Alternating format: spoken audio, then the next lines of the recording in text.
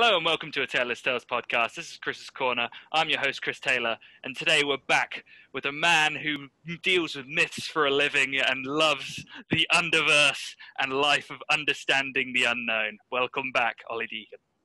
How's it going? All right.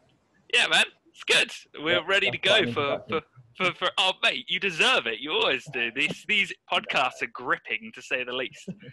Um, and we're we're tackling one point the uh, part one of the Lord of the Rings: The Return of the King, the eleven-time Academy Award winning, winning Return of the King. I like to add, uh, only defeated by Ben-Hur and uh, the Titanic, from what I remember when it comes down to Academy Okay. Awards. Uh, when it comes down to, it. but we're jumping right in. And Ollie, I, I'm going to go to you for this one because I think you will get this straight away. The first scene is obviously the two hobbits on the river, so, and just just fishing in their lovely little boat, Yeah. Smeagol and Deagol. And the first thing we see within that scene is that the uh, Deagol falls into the water and basically dives into the to the un- un- unconscious of uh, of the mind, and the ring's there. And I wanted to see what you thought of that because that's you know it's a quite uh we're straight into the movie and that's one of the first things we see. What's what were your thoughts when you when you see that? I mean, of course, the ring is going to be underwater because it's sort of been it's been lost and forgotten for you know however many thousand years or so. Is is it like because Gollum had it for, for 500 years? Mm, um, yes. And the Battle of the Last Alliance was was it 3,000 years before? Because that was the start of yeah. the Third Age, wasn't it? So it's been like underwater for. I, we don't know how I don't know how long Isildur had it for, but let's say it's been underwater for 2,400 years. Know, it's a long, long, long time. Um, and then these sort of sweet little innocent creatures that have absolutely no idea about the horrors of the world. Um, they discover this, you know, this means of domination over their fellow man, so to speak, and and it's only like shallow. It's only like shallowly underwater. Like it's not like they haven't got to go right to the depths of, of hell to find it. It's like it, it's right there, um, literally within, you know, within the reach of, of Deagol. And, He good takes scene, it. Powerful scene. It Isn't it? is. Yeah, I, I like that you put it that way because time seems to mend all wounds, and in this case, we're looking at it in the same way because, like you say, it's shallow, isn't it? It's it's it's not. They don't have to go deep to be able to get the ring. It's just in the gra- It's almost just a grab away, reach away, and how Is- Isildur dies does resemble that in the sense that he just falls into the river, and the ring betrays him, and so it does make sense that it is somewhere almost convenient. You know, Yeah. that's how the ring likes to be found in, in some way or another. Mm. Um, and I love that we, we jump in, and within seconds, the ring has an impact on the two characters we see. And Yeah. did, did you see that? Did you? What, what did you Oh, think when you? Yeah, definitely. So, well, so I, I recently listened to the um, the the audiobooks. Yes. Um, I found a, an, an edition that has the music from the films, so it's just absolutely brilliant.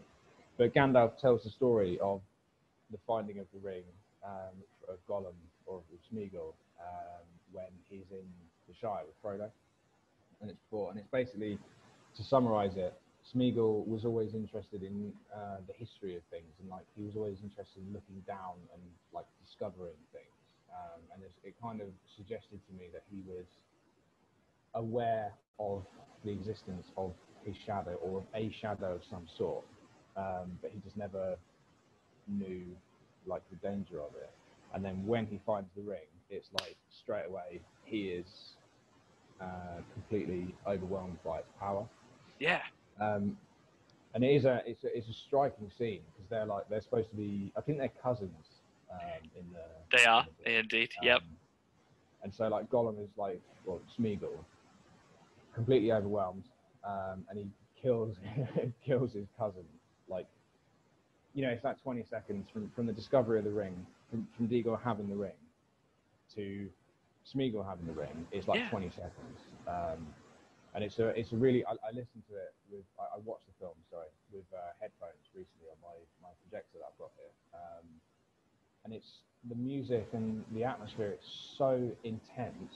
Um, and when Smeagol is strangling Deagol, as the life leaves Deagol, music changes, and it's Yeah. like he suddenly wakes up, and it's like, whoa. Did Did you notice what music it was playing? That That's the question. Probably not. Go on.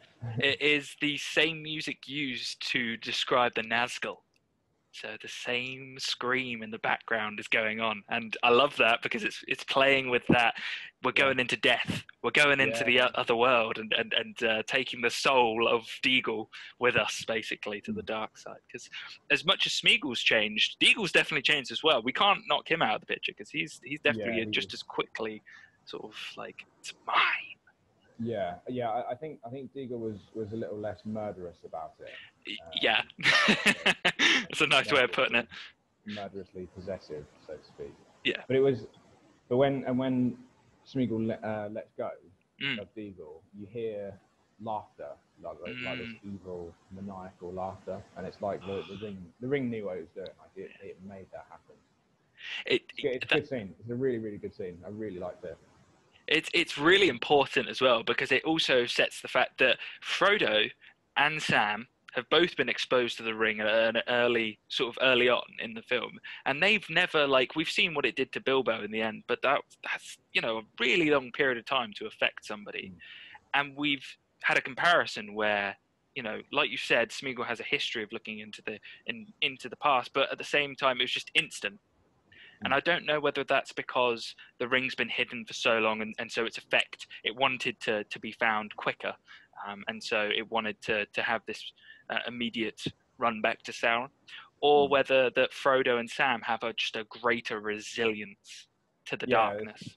But somehow Smeagol was almost predisposed to falling into the shadow easier Yes. than, than others were, something like that. Mm. Yeah, I know, I know what you mean. I had I had a thought then, but it, it, escaped my mind. Um, but, oh, that that was it. So so in the in the film, um, when they are when the Fellowship are in Moria, hmm and they're trying to decide which way to go. You know, Yes. three choices, and Gandalf and Frodo are, are talking, and Gandalf sort of imparts some wisdom that you know many many who di- died deserve to live, and many who live deserve death, and blah blah blah. Um, and Frodo says it was a pity that Bilbo didn't kill him when he had the chance. Um, and Gandalf in the book he makes the the point that it was the pity of Bilbo that allowed him to not succumb to the ring. So it was like if he if he had started his ownership of the ring um, with a murder, he would have succumbed like Smeagol did. Oh, that's a really good analysis. I like that. Yeah. Yeah. Uh, which I was I, I- thought was, bit- and it's a shame that they actually they, they left because it's just an extra line on the end of the little speech that Gandalf gives, um, and it's kind of a shame they left it out because it would it would. I mean, I, I don't know necessarily clear clear a few things up, but like it, it adds to the story. I think. Yeah, it Because does. It Smeagol provides clarity. Yeah, Yeah. yeah, hundred percent. That's fascinating. I I had no idea. And see, when I was looking at it, I was I just saw before the transformation scene, before we see Smeagol become like you know this the, the Gollum creature, and we see this period of time where he's, he's transformed. We see that moment of him almost in glee, like you say, that mad laughter, um, and then he get, becomes invisible.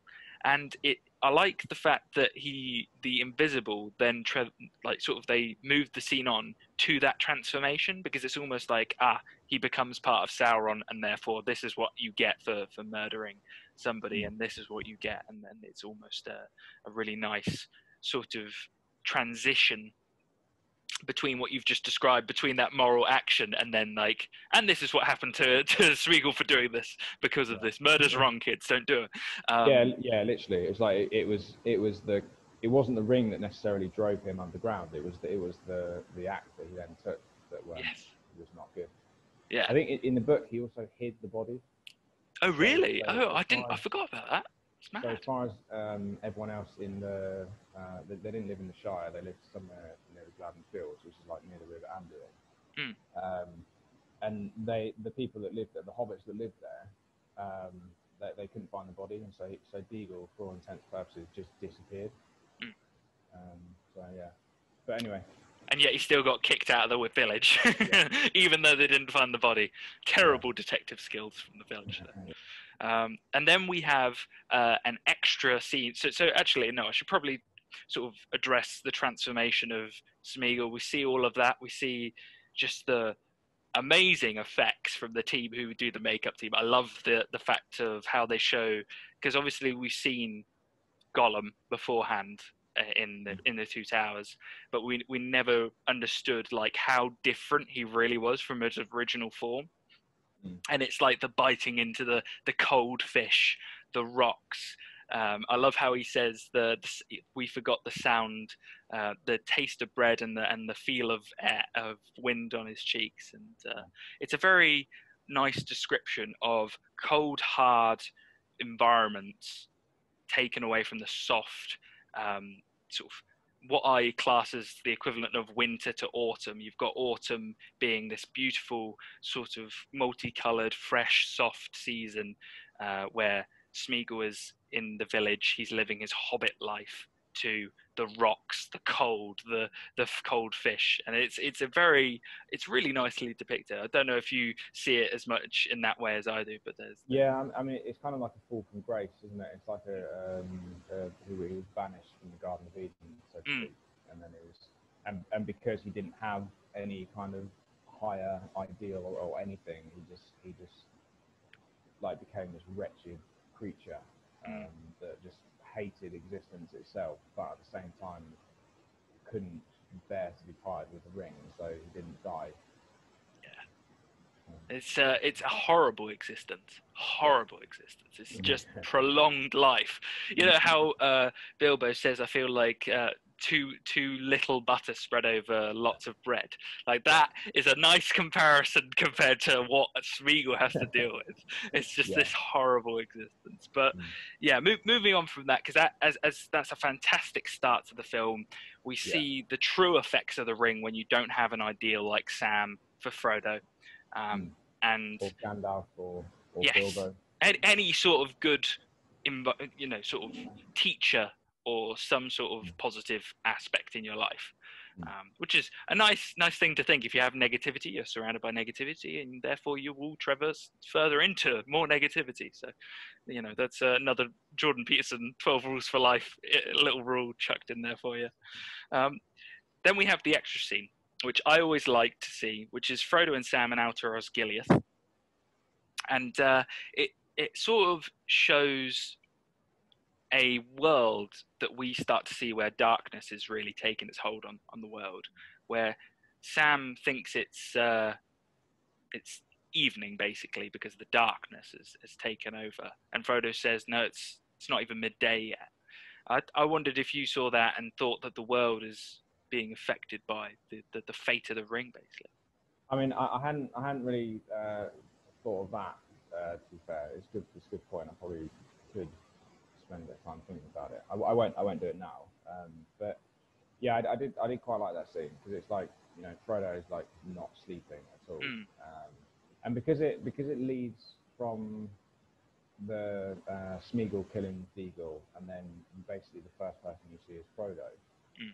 It's kind of like he's sort of weighing I don't know. may- Maybe maybe I'm just clutching at straws here, but he's kind of like he's weighing up his options, um, and obviously part of it is like his total domination over the people around him. Yes. But I think because he can see what happens to Smeagol, it's like, no, I won't. I won't do that. Yeah. Yeah. you don't want that to be a common mirror image, do you? I mean, he's. I mean, Gollum is definitely not aged very well, is he? Bit of- bit of moisturiser probably would have gone a way. But, but no, I, I like that. I, I had. I did have some thoughts on that one. Um, although I don't know if it's. Mm, probably not. I'll say it anyway because it. Cause it Yeah, why not? it might need- The, the trouble is that um, when you rewatch these films like multiple times, you end up seeing more and more things that may or may not actually be there yes. and that's kind of that's kind of the trouble. Like I don't I don't want to be like tooting my own horn and thinking, oh, I'm like I can see all this mythological wisdom when it could just be a simple scene where they're just eating some bread. Do you know what I mean? it's Um, very true. Yeah, but uh, you, you know, mate, I think that it's fun to do it anyway. There's no harm in it, is there? And I think No, no. that you get something out of it, and I get something out of it. So why not? So, so the Sam mentions the uh, the Lembas bread rationing, um, and he's like he's he's still, no, despite how far they've come, um, Yes. like despite all the horror and stuff they've seen, he's still optimistic about actually going home. And I love so that. Yeah, I'm glad you picked up on that. He's so optimistic that he's like it's you can't tell whether it's naive naivety or if it's genuine optimism. Um, but he's like he's actually thought past the ring's destruction and we're gonna we're gonna be going home. Like so we've actually we need enough food to get home. Uh, excuse me. And it was like Fro- Frodo had forgotten about the journey um, after that, that would need to be taken after the ring's been destroyed. It's like the only thing he can really see is, is the ring itself, um, and he knows that like this is the journey, and it's also the ultimate end, so to speak. Like he's not thinking past what could what he could happen, what he could do once the ring is destroyed. And I think I think it might be in, in part because he knows in his heart that he won't actually succeed Yeah. that he will fail when it comes down to it. Um, although, to just bounce back and forth between parts of the film, um, the very end scene obviously is Gollum basically falling in. Um, Yes. And that happens in the book. It, it, Frodo doesn't push him in the book like they do in, like they do in the film. They don't wrestle in the, in the book. But in the Two Towers, when they first came across Gollum, um, Frodo made him swear by it that he would not bring him harm or something. And I think it's because he broke his oath that the, the ring punished him without realizing that it was going to die, and so it, it like it pushed him in. Um, so something like that. Anyway, um, yeah. I that would, I'll- oh, that's a nice connection because, as you said earlier, he was sort of the when he committed an act of murder on behalf of the ring, almost like having the ring in his hand. Um, it's almost like the, the the word, the bond of word or uh, of almost emotion and action have a real impact on what the what happens around the ring. That that makes a lot of sense, and that that that bond clearly it could be why he fell in, and it was is that the action and. But yeah, anyway, get, carry on. Sorry. Um, I, I did have I did have one or two other things there, but I I think I don't think it applies as such. I, I think I was just reading in too much. You know. no, So- don't worry, we'll mate. We, you've got the next one. plenty plenty more to cover. There's so many things within this part of the movie. Um, the next bit's just a bit of fun. I, th- I think the next scene after this is is you can't really read into it too much, but you can just enjoy it for what it is, uh, and that's Merry and Pippin at Isengard. They're just too lovable. They're two lovable guys, and they're you know two characters who I think we could all associate appreciate their um, optimism for life in this scene, Mm. and uh, it's nice because we get that little comparison between who they are then and then who they are in, at the end of this movie, because it's it's very different two people. Yeah, it is because because it's almost like they they they've been to battle, they've gone through some hardship, and when when they're reunited, when the, the heroes are reunited, they they've kind of grown up a little bit. Yes, But for them, there is actually still more growing up to do. yes, Like they're just sitting back, like smoking and eating, basically. And it's it's like they they they they for a, a short amount of time they've returned home, you know, to, to the Shire in a sense, and like that. They've they've gone back to what they would be doing anyway. yeah, exactly. And they've got um, they've got Treebeard there, and I love. Uh, I don't know if you saw this, but Treebeard refers to Gandalf as young Gandalf. How funny is that? Yeah, I like that line. That's, that's a good one. It's just like it, how how much age difference is there between this guy and this guy? Like two immortal beings. Like how old is Treebeard to say that? That's the question. I think I think um, I, I did have some top trump cards. I think I might mention this in the first one. Oh, really? I. I had some top trump cards um, which had the ages of all the, the beings, and Treebeard was one of them. And Treebeard, I think, is like seventeen thousand years or something in in terms of Middle Earth, um, whereas Sauron is like twenty-seven thousand or twenty-four thousand something. Um, and because obviously Gandalf has only been around, been walking on the earth for it's, he, he came at the beginning of the first, the third age, so I think it's like he's about three thousand years old. Ah. So compared to Treebeard, like he is, he is. that yeah, yeah, he he is a little bit younger by Yeah. four, 14,000 years. just a little sprog for him. Oh dear. Yeah, th- this is this is good because the next bit rolls onto a very so we've got this lovely sort of scene. It does it does bring me comfort that beginning bit with uh, Merry and Pippin because we've seen quite some harrowing scenes before then. We're seeing Yeah.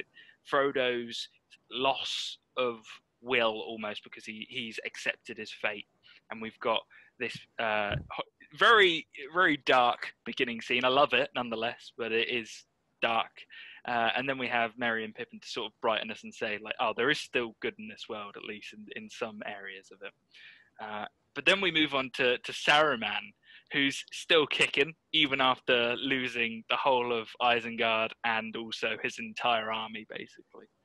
Uh, but he's still dangerous, and I do like this um, idea that you've got Gandalf the White, and then you've got Saruman the White, and we do see this nice comparison of the two, what Saruman's become and what Gandalf is beginning to be, and because he's only been around, you know, he's only been Gandalf the White for a very short amount of time. But I was intrigued to see when do you when you compare them, and if if Saruman hadn't discovered Sauron in the art, like the ball, of uh, I forgot what they called the Seeing Stones of um, Uh, Palantir. Plantia. Thank you. Um, do you think that he would have gone down this road of still being Saruman the Wise? Well, I mean, I'm, I'm not sure about the in in films um, if it's expanded on at all, but in the in the book lore, so to speak, um, Sar- Saruman has been sort of planning this for like like five six hundred years or something. Um, he was actively searching for the ring um, based on his Isildur's notes and, and you know where where Isildur went missing and stuff. Um, so I, I think Saruman he knew for a very long time that, or he, he thought he knew for a very long time that it was utterly hopeless to resist um, Sauron if he ever regained power. Um, so, what, what was your question again? Sorry. No, I was, I was just intrigued. To, so, if he hadn't discovered the Seeing Stone, I think you've already answered it here. That's in one way. it, yeah. Yeah, yeah, yeah. I, I, yeah, I, I think he would have still Mm. gone that way. Um, I, think that he, like I said, he thought it was absolutely hopeless, and, and so the best thing to do is to just join with him. Um, but obviously, that's not the best thing to do. The best thing to do, if, if it was hopeless, the best thing to do would be to die. Uh, Yeah. But obviously, he didn't, he didn't choose that. So. Yeah, I like, uh, and we, we see this later in the movie, and, and when it won't be into the next podcast that we cover it, but how we get the perfect description of death by anyone I've ever seen in, in, in any movie, and that is with Gandalf and Ian McKellen describing death as this beautiful, just amazing picture, and then you see it. Um, I'm not going to say the words because I will save it for the next one, but it is the, the perfect description of death, and, and he makes Yeah. it sound like it's something that we should all be looking forward to rather than something we should be afraid of, basically. Mm. Um, but again, he's actually, he's actually seen it as well. He- he's actually done it. So Yeah.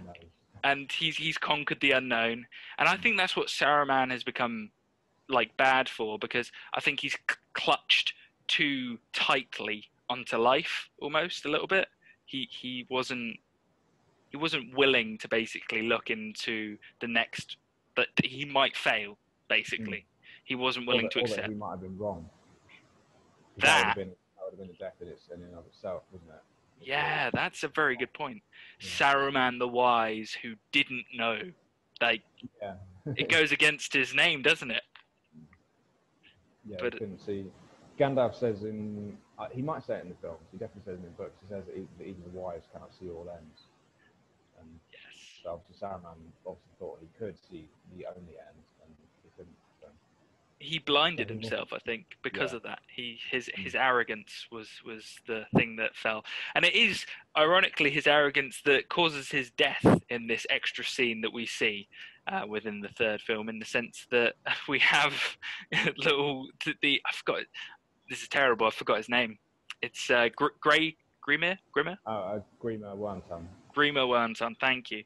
Um, and I was I was going to say, did you see this the the bit where you can see in his eyes that he, for a flicker of a moment, you can you think he might go back to Rohan?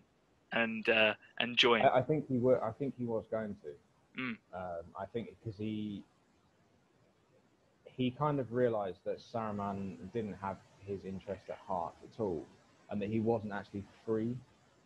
That he was kind of a slave, but I, I think that he he initially believed that he was doing this of his own free volition. Mm. Um, but then when Saruman says he will never be free, yes. it's like, oh, yes, I will. Time for you Uh, to die, my friend. yeah, he pulls out his knife. And, yeah. but it, it, it, it's a little bit sad because also in the books that we see Saruman in a very different way. I remember Christopher Lee saying that he wasn't happy with the the end of Saruman because it was quite a um, what's the word grim end to him, but also not exactly um, magnificent in in how he, he dies. It's it's very he's a man. They make him a man by dying in that way. He's he's he's Well, vulnerable. he does. He does die in the same way in the books. He is stabbed by, as- far as I remember, anyway. He is stabbed by Grima in the back. Mm. Um, it's obviously that he obviously just dies in the Shire rather Yes. than uh, on the top of Orthanc. But Yeah. I, I I understand why they did it for the for the films. It's um I think the scene the theme I think the scene still works um, because it gives with this scene in the book, him and Theoden obviously have their little chat, um, and it's quite clear that Theoden is not going to forgive what Saruman has done. Um, and, I, and I thought it was it was quite a fitting end because because otherwise in with the film, you know, it certainly let's if just take into account the extended edition, it's like four hours twenty minutes long. Um, Yes. And by the time the ring gets destroyed, I think there's still an hour left. And so obviously in the in the book, it's like half the book is is devoted to them going home. But you have to keep the audience captivated, uh, and it, it it does go on a little bit. Uh, as so I it think does. Uh, as we like to bring that Jack Nicholson quote in, there are just so many endings. yeah. Um, but yeah, yeah, I think that it's that's a really good way of putting it, and something that you mentioned in the previous podcast that is coming up now, in, is that Theoden is a son of greater horse riders, and this is what Saruman basically tries to pick at him in this scene: is that you this wasn't your victory, this was Mm. the the victory of your men. Basically, you're not a great king, and we do see in Theoden's eyes that he's starting to question himself um, for one way or another. And we do see this in this part of the movie. I was wondering if you, you thought the same, if there was something that you. Oh yeah, yeah, definitely. He, he, he definitely he's unsure if he's actually worthy of, of a king.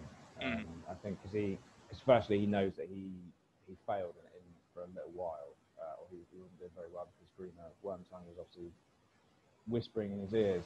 Um, but at the same time, he, he's like he's not sure of his own strength, um, and he doesn't know if he has the, the strength to really do what needs to be done for, for Rohan. Um, and yeah, Saruman like he cuts him to the bone by saying, "You are a lesser son of greater sires," Yes. and it's like, mate, like especially for for a king like who's lost his son. Um, he it's like it's it's it's true because the the kingdom is basically dead now because Yeah. he wasn't a good enough king. Um, and so the prince, you know, the knight, the, the prince or the, the the king that would be, is is absent, is vanished, um, because the the king has failed at doing his job, basically, and he knows that. Yeah. And so that's why, like, yeah, that would hurt a lot. That would be a, a hard thing to hear. But then he doesn't, he doesn't, um, he doesn't become bitter and like start to fight back with Saruman because he knows it's pointless anyway. And so what he does is he turns to Grima and he says, Grima, you were not once a man of Rohan. Yeah. Um, and he says it in a way that's like, Rohan, this great kingdom, um, like come down and will you not? Uh, he said to him, he, he basically says like, become a man of Rohan again and stand Yeah. on my side and we, you, you know, we can work at forgiveness, basically. I, Uh, I'm glad, again, fantastic point made, is that he goes from taking this cut to the bone comment and forgive someone. Like, how great a character is that, the Mm. Yeah, ability exactly. to do so? That that would take some real real strength of character to be able to do that. That would be difficult to not get to not get like caught up in the immediate heat of the moment. You know. that would be that'd be a, a tough thing to do. But I, I like that. Um, but when he says you were once a man of Rohan, like it, like it's a great this great place, and it, and it is obviously. Um, but then Saruman immediately uh, says like, what is Rohan but a, a thatched barn where briggers drink in the reek and the brats roll on the floor with the dogs. And it's like, fucking hell, like, leave the guy alone, mate. it's so true though. He's just like he's just making calling them savages basically. Yeah, Is like- this what it sounds like for for like he's calling them peasants basically as a Yeah, high lord? Yeah, yeah, like with no, with yeah, with no intelligence, and it, and it's kind of it- it's kind of implied in that in, in the books that they um, they don't write down any of their history, but they, they teach it in in lore and, and um, stories and stuff. Yes. Um, but yeah, like it's it's fucking leave me alone, mate. Mate, I know, and it, I think that there's almost uh, a sort of level of respect in, in Grima's eyes for Theoden to forgive him in the first place. He's like, oh, "You forgive me, but I've done all this wrong. Like, how could you forgive me?" Um, and I think that from there, he's just like he sows his own fate, basically. Don't know why Legolas shoots him, but you know, whatever. Maybe he's trying to save Saruman so that they can get information out of him. But uh, Yeah, I, I think that was that, that was the idea. Certainly, that's what Gandalf wanted. Um, Yes. Because he, he was deep in the enemy's counsel, as he says. Mm. Um, but yeah, it is that. It, it's interesting because um, the first part of the scene, when they- when they first, excuse me, interact with, with Saruman, Saruman kind of tries to uh, manipulate Theoden into saying, "You're a man of honor. Uh, can we not take counsel as we once did, or can we not, can we not have peace yes. as we once did? Um, because you, because you fought many wars and you've always sought peace afterwards. Um, and it's kind of implied that although Theoden is a great king and he has a lot of honor, you know, he, he, he understands that peace is greater than better than violence. All of the wars he's fought in the past against other men, perhaps, um, he has once the battle is over, he he's tried to make peace so that the kingdom can flourish, and he's trying, you know, forget forget the violence, forget the grudge, anything like that. Just let's not do this again. Let's work together. But because Saruman has fought with no honor whatsoever, um, because he says that the, you know, the, he, he he says, got it, some of it here. He says, um, "We will have peace when you answer for the burning of the Westfold and the children that lie dead there." And it's like like your men killed children, and then Yeah. not only that, your men killed and uh, butchered the bodies of our soldiers.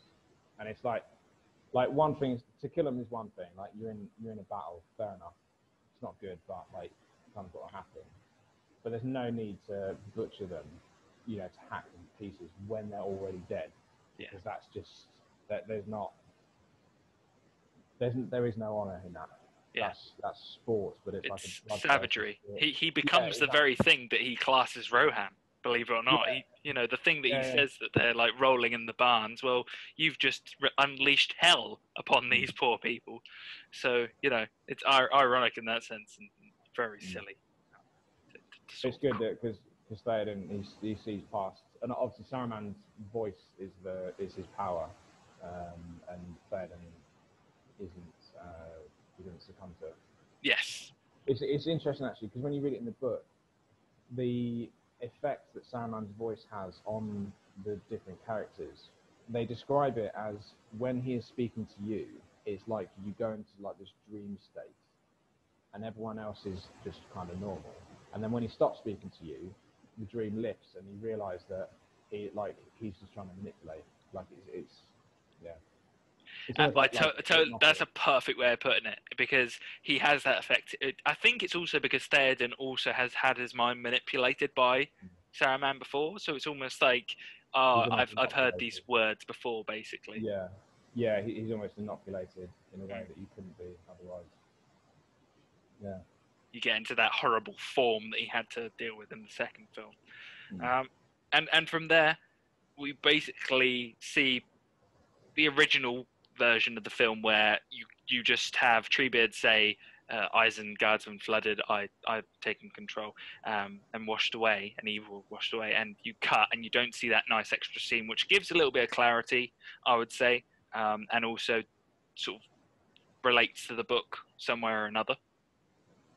Uh, and we get Pippin's first sort of interaction with the the Seeing Stone, the Palantir, um, which is nice because it sort of brings it into why would Pippin want to look at this in the first place, other than you know just picking it up.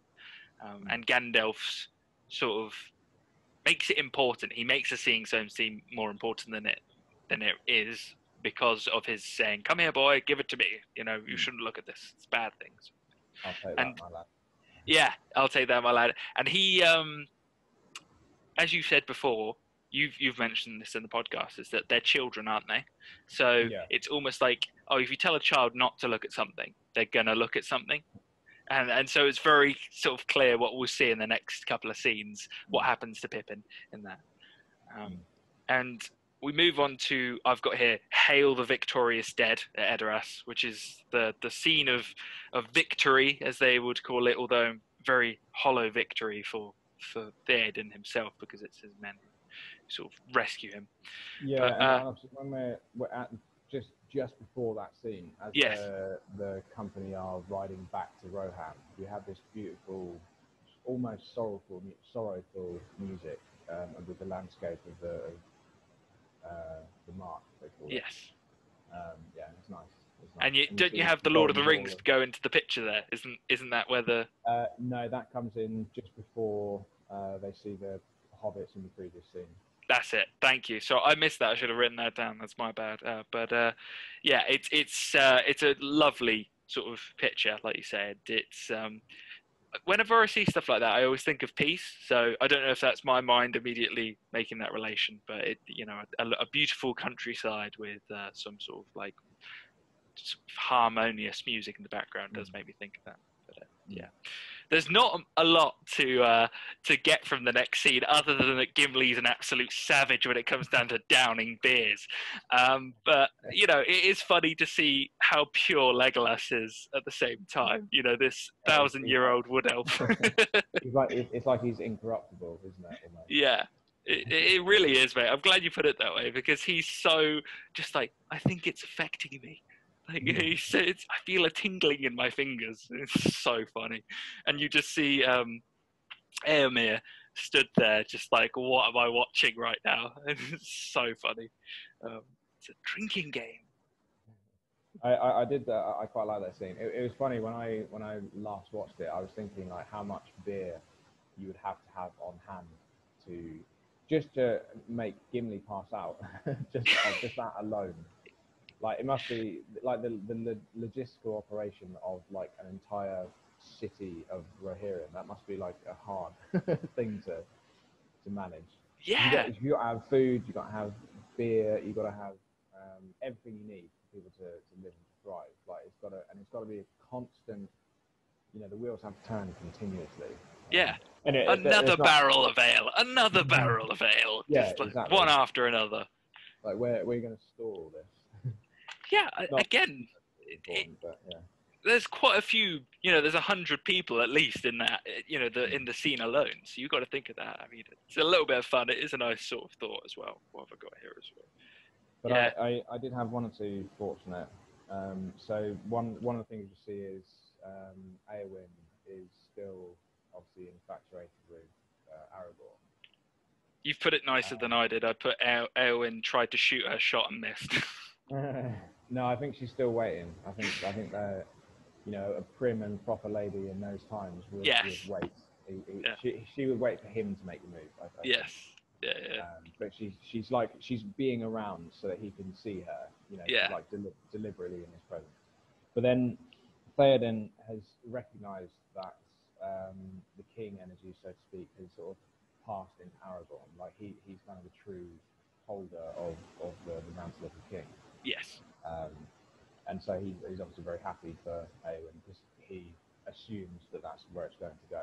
Um, but yeah, anyway, but yeah. no no it's a nice he, he the thing is it's recognition isn't it that's the thing Yeah. Theoden recognizes aragorn as king um, Yeah. Which is ironic because his own people don't at the moment until until later on, far into the film. But uh, yeah, it's it's really interesting scene, and then you see the the hobbits dancing on the table, making it look like we're back at the Green Dragon again. I love Yeah. that. It's so so much fun. Um, I, I, I'm, I'm kind of disappointed that there wasn't more singing. Uh, Yes. Because there, there's a lot of there's a lot of songs in the books and they're they're, they're, they're really good. Yeah, no, exactly, and it is. I think the reason why Peter Jackson did it as well, and, and in this case, you've got one or two people who can sing in the film, uh, and and Billy Boyd's being one of them, who's a professional singer as well as as Pippin. Um, at the same time, you've also got to think that singing provides joy, doesn't it? Except for Yeah. the uh, the scene with Pippin where he's deliberately making it look a little bit more negative later in the film. Mm. In in this case, I I do see this as the last point of joy in the film before we get to so, so it is like we see this joyous sort of event, and then it's quite, you know, dark, dark, dark, Yeah, one bit after another. it's quite serious from, from here on out, isn't it? It is, yeah, and Yeah. I, I, I don't, I don't think if we had more singing, it would probably make things feel a little bit more light-hearted than they actually were. I suppose so, yeah. And it might, because the film only has like a limited amount of time to, to set the scene and, and convey the information. So I suppose that's probably true. Actually, it's like you can't you can't have too many high points because the whole film will feel like a high point, and you need you need to like convey the seriousness of what's going on. I suppose. So, Yes. yeah. That makes sense. Makes sense. But there's plenty of chance. There's plenty of like, you know, uh, when when battles come or when people uh, are preparing for war, there's plenty of things that you see both the orcs and the men do. So it's it's very interesting to go down to that. Um, but yeah, that's as much as I got from that scene. Uh, Apart from when Aragorn says to Gandalf, "What does your heart tell you?" And I do like that idea that Gandalf doesn't just think with his brain; he thinks like, Mm. "I can feel that Frodo's still alive and that he's still, you know, carrying on this journey." And that it, it, it's almost like you've said this before, and I do like this. I really do latch onto this a little bit. Is that these men are not afraid to show their emotions and not afraid to basically put forward their ideas that it's not just they're fighting to be men they're fighting for for the standards the the way of life the ability to um, be a man who has all parts of, of himself the warrior the king the magician the lover all of them in, in this scenario so for, for that scene i do think that encapsulates that a little bit in Mm. one way or another Yeah, it's, it's a good point. That I, I did actually have a, a similar thought to that for, for later on. Um, So I'll, I'll mention now. Yeah, definitely. I, I look forward to that. I'll be intri- intriguing because it's. I think it's a very continuous theme in this film. But anyway, uh, on to the next scene, which is Gollum's plan to murder. Basically, I've got written down here. It's uh, it's uh, pretty. It's sad because w- we thought that in the previous film that we would have Smeagol sort of redeeming himself slowly, and he saw Frodo and he thought, well, maybe I can go back to the way of of being Frodo, basically, the, the, the way of being old Smeagol. Mm. But I don't know if you you saw this. It's he brings back that mirror image of the ring, basically. He you know he brings back that second character of himself, who we yeah. yeah who we lost when he Yeah. he said that Frodo was his now his ideal. Um, Yeah, I, I- I think the, the reason for that is because back in the Two Towers, uh, when Smeagol was being beaten up by the uh, Ithilien Rangers, Yes. um, he it was like a, a death of God motif kind of idea. It's like like uh, Frodo was the new god, but Yes. Frodo wasn't actually up to the standard of a god. So the god then died, and then uh, Smeagol was plunged back into hell, and he didn't have any sort of compass other than for, for now Gollum to come back and, and to Yeah. be. And it's a shame, really, because it, 'cause it is. Um, in the, in the film, it kind of makes it makes it seem like Frodo is the, the reason for the, the fall from grace, so to speak. Um, but in the books, it's actually Sam because the, obviously they're to go to Osgiliath and Gollum doesn't get beaten up by the Rangers and stuff. Um, and it is Sam who, because he doesn't trust Gollum, uh, he can't see Smeagol. All he sees is Gollum. So Yeah. That's, a, that's a good way of putting it because sometimes we're blinded by our own sort of view of a person, aren't we? Where we we just see the, the darkness within them, the, the badness, or, or, or sometimes there is no redeeming qualities, uh, even if there there are some and they're very small. You can't. It's overwhelming to you, and you try and write off a person. And I think that's what Sam's done there. And it's uh, to be fair to him, that's difficult to do. uh, You know, Oh, to, yeah. to, to to basically say this person's a terrible person, but I'm going to try and latch on to the good things that they've got going for them. Certainly, certainly, because there's no the only real um, history they have with Gollum is that he's been trying to kill him. Yeah, Uh, so starting that- that'd off. be- it'd be difficult to get over that. Yes, yeah. Someone tries to murder you. Ah, yeah, forgive them, it'll be fine. We're all Jesus in our own life. But Yeah. uh, so silly. But yeah, um, there's not for for me personally. I didn't see a lot in that scene. I didn't write loads of notes on it because it's just a very a- continuous theme we've seen before, where we're we're seeing um, Sam being Sam, Frodo trying to see what's good left in Gollum, and Gollum becoming Gollum again, basically. Uh, I don't know if you saw anything more on that. I do tell. Um, I mean, I've got just two little little lines. So Sam Sam judges him very harshly, obviously, um, Mm. but then Frodo is trying to kind of be the good guy. He doesn't Yes. Want, he doesn't want to believe that he can become Gollum. So Yeah, the negotiator of it. Yeah, and so he, so Frodo, Frodo can't admit that he's a villain, um, and because, and it's because he can see that he will become that, um, and so he's kind of denying it almost. So like he, I, what I've got written down is that it, it's almost like he won't define the worst he could become, uh, even though, even though by doing so it might actually save him. oh right, Uh, yeah, that's that's a good point. It could, yeah, it could potentially save him, and it could potentially bring back. ah. See, maybe that's what Sam needs to see as well, in, in some way or another as well. Is that Fro- he doesn't see Frodo for who for because Sam sees the journey back home, doesn't he? So when you see this journey back home, it's very difficult to see that there is no journey back home, isn't there? So we can just sort of play it both ways in that sense as well. Mm. Um, maybe, but again, I, I feel like I'm repeating myself here. Yeah, yeah, that, that's the thing. There, there are definitely, and there, there are definitely themes that, that repeat. Or, or maybe it's not like it's not like repetition. It's like um, you have like points in the timeline that, or it's like an equation. It adds up to the disaster waiting to happen, you know, something like that. Yes. Yeah, yeah. But it, it's a very good way of putting it because it does end up like that, doesn't it? We do we do have these little increment, incremental steps of either for Sam and Frodo the, the the challenges they face as this Mm. story goes on, especially within this film because it really does focus on the last step of their journey that is the most treacherous, that has the most enemies. Uh, that they have to basically overcome. Uh, Smeagol being one of them, because we see, we see this. Uh, there's a trap he's setting for them, basically.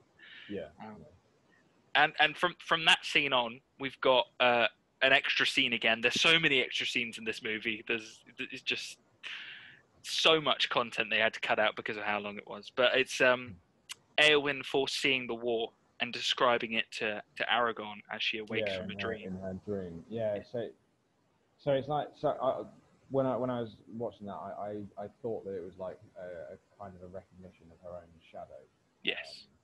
and it's like and, and there is some some kind of ideal um, that she has because there's light shining behind her um, and so it's like the, the light behind her is obviously showing her the outline of her shadow um, and there's like may, maybe it, maybe it could be um, thought about in, in a bit greater detail at some point but it is I, I, I sort of have this idea that it's kind of like a walking with God kind of motif, which is what. Uh, no, see, see in in the Jude- Judeo-Christianity ethos in, in the mythology, uh, Adam and Eve walk with God in the Garden of Eden. It's like it's like kind of there's, there's some kind of hint that they they're almost equal with God because they haven't fallen. And then later on, uh, Noah walks in front of God, and God is behind him.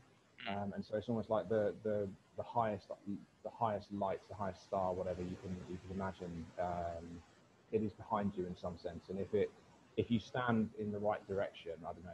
I'm just kind of thinking here, thinking aloud. If you stand and stand and face the right direction, the Yeah. light will shine past you, and it will illuminate everything around you, but Okay. it will also show you your shadow. It will like. Does that make sense? Yeah, no, I see I you don't, I don't know if there's any. I don't know if there's anything particularly important there um, for the for her dream, but No, no. Uh, the thing is, Aragorn, in one way or another, is that light because she just sees him as this sort of like redeeming figure because he's a warrior, isn't he, as well as a king, and he's also somebody who consistently is there no matter what. He, he he's you know he, he nearly dies and he keeps coming back, and so I do see what you're getting at with the the bright light because he does sort of point out some of the flaws, and some of them happen to be on Theoden, and I think by the end of this film, movie she starts to realize who she wants to be as well because of Aragorn. Because that description earlier in the second movie of her being in a cage, it's only him who really sort of says says to her, "Well, why should you be there? Why should you, you know, ever have to deal with being in a cage? You Mm. can fight for yourself, basically." Mm. Um, so it could be that recognition. It might not be. Who knows? I think that it's it's it's a nice way to think about it, and that she, she sees him as her savior, basically, because Yeah. there's no other man who's actually done that, and he's not really a man. He's he's he's more of a an immortal being in some way or another.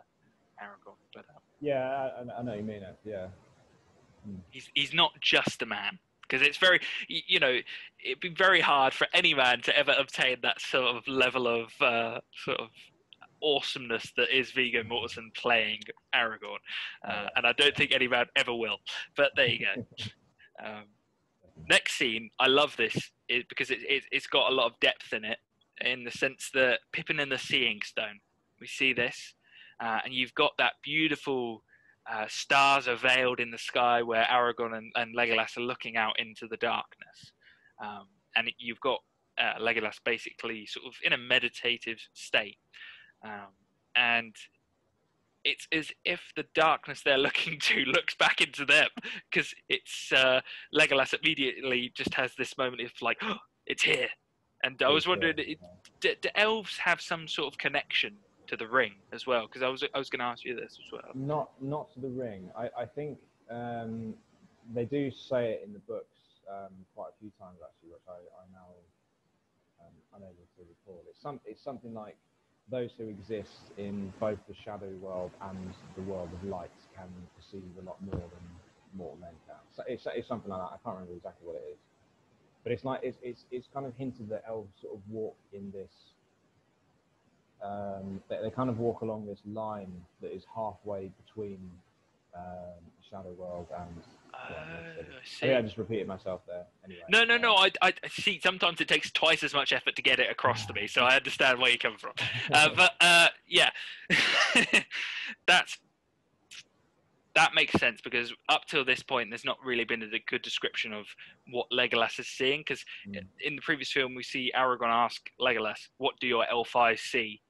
We don't really get a description of how he's seeing it, what he's seeing, how you know what sort of vision is he seeing? Because all we see as the viewer is is just the surrounding area.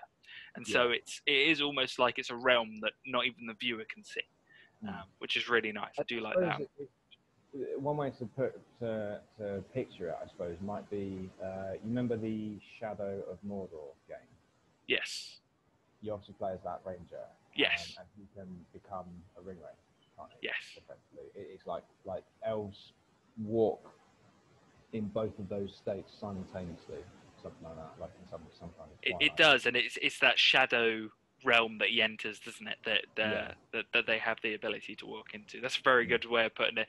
Uh, it, it visually speaking i always love that in that game because it gave such a good representation of what the Mm. shadow world is um, and then actually that's a really good link ollie as well because we actually have the the palantir which is a sort of stone that you can see the, the, the shadow realm into. It's it's a connection between realms, and that's how.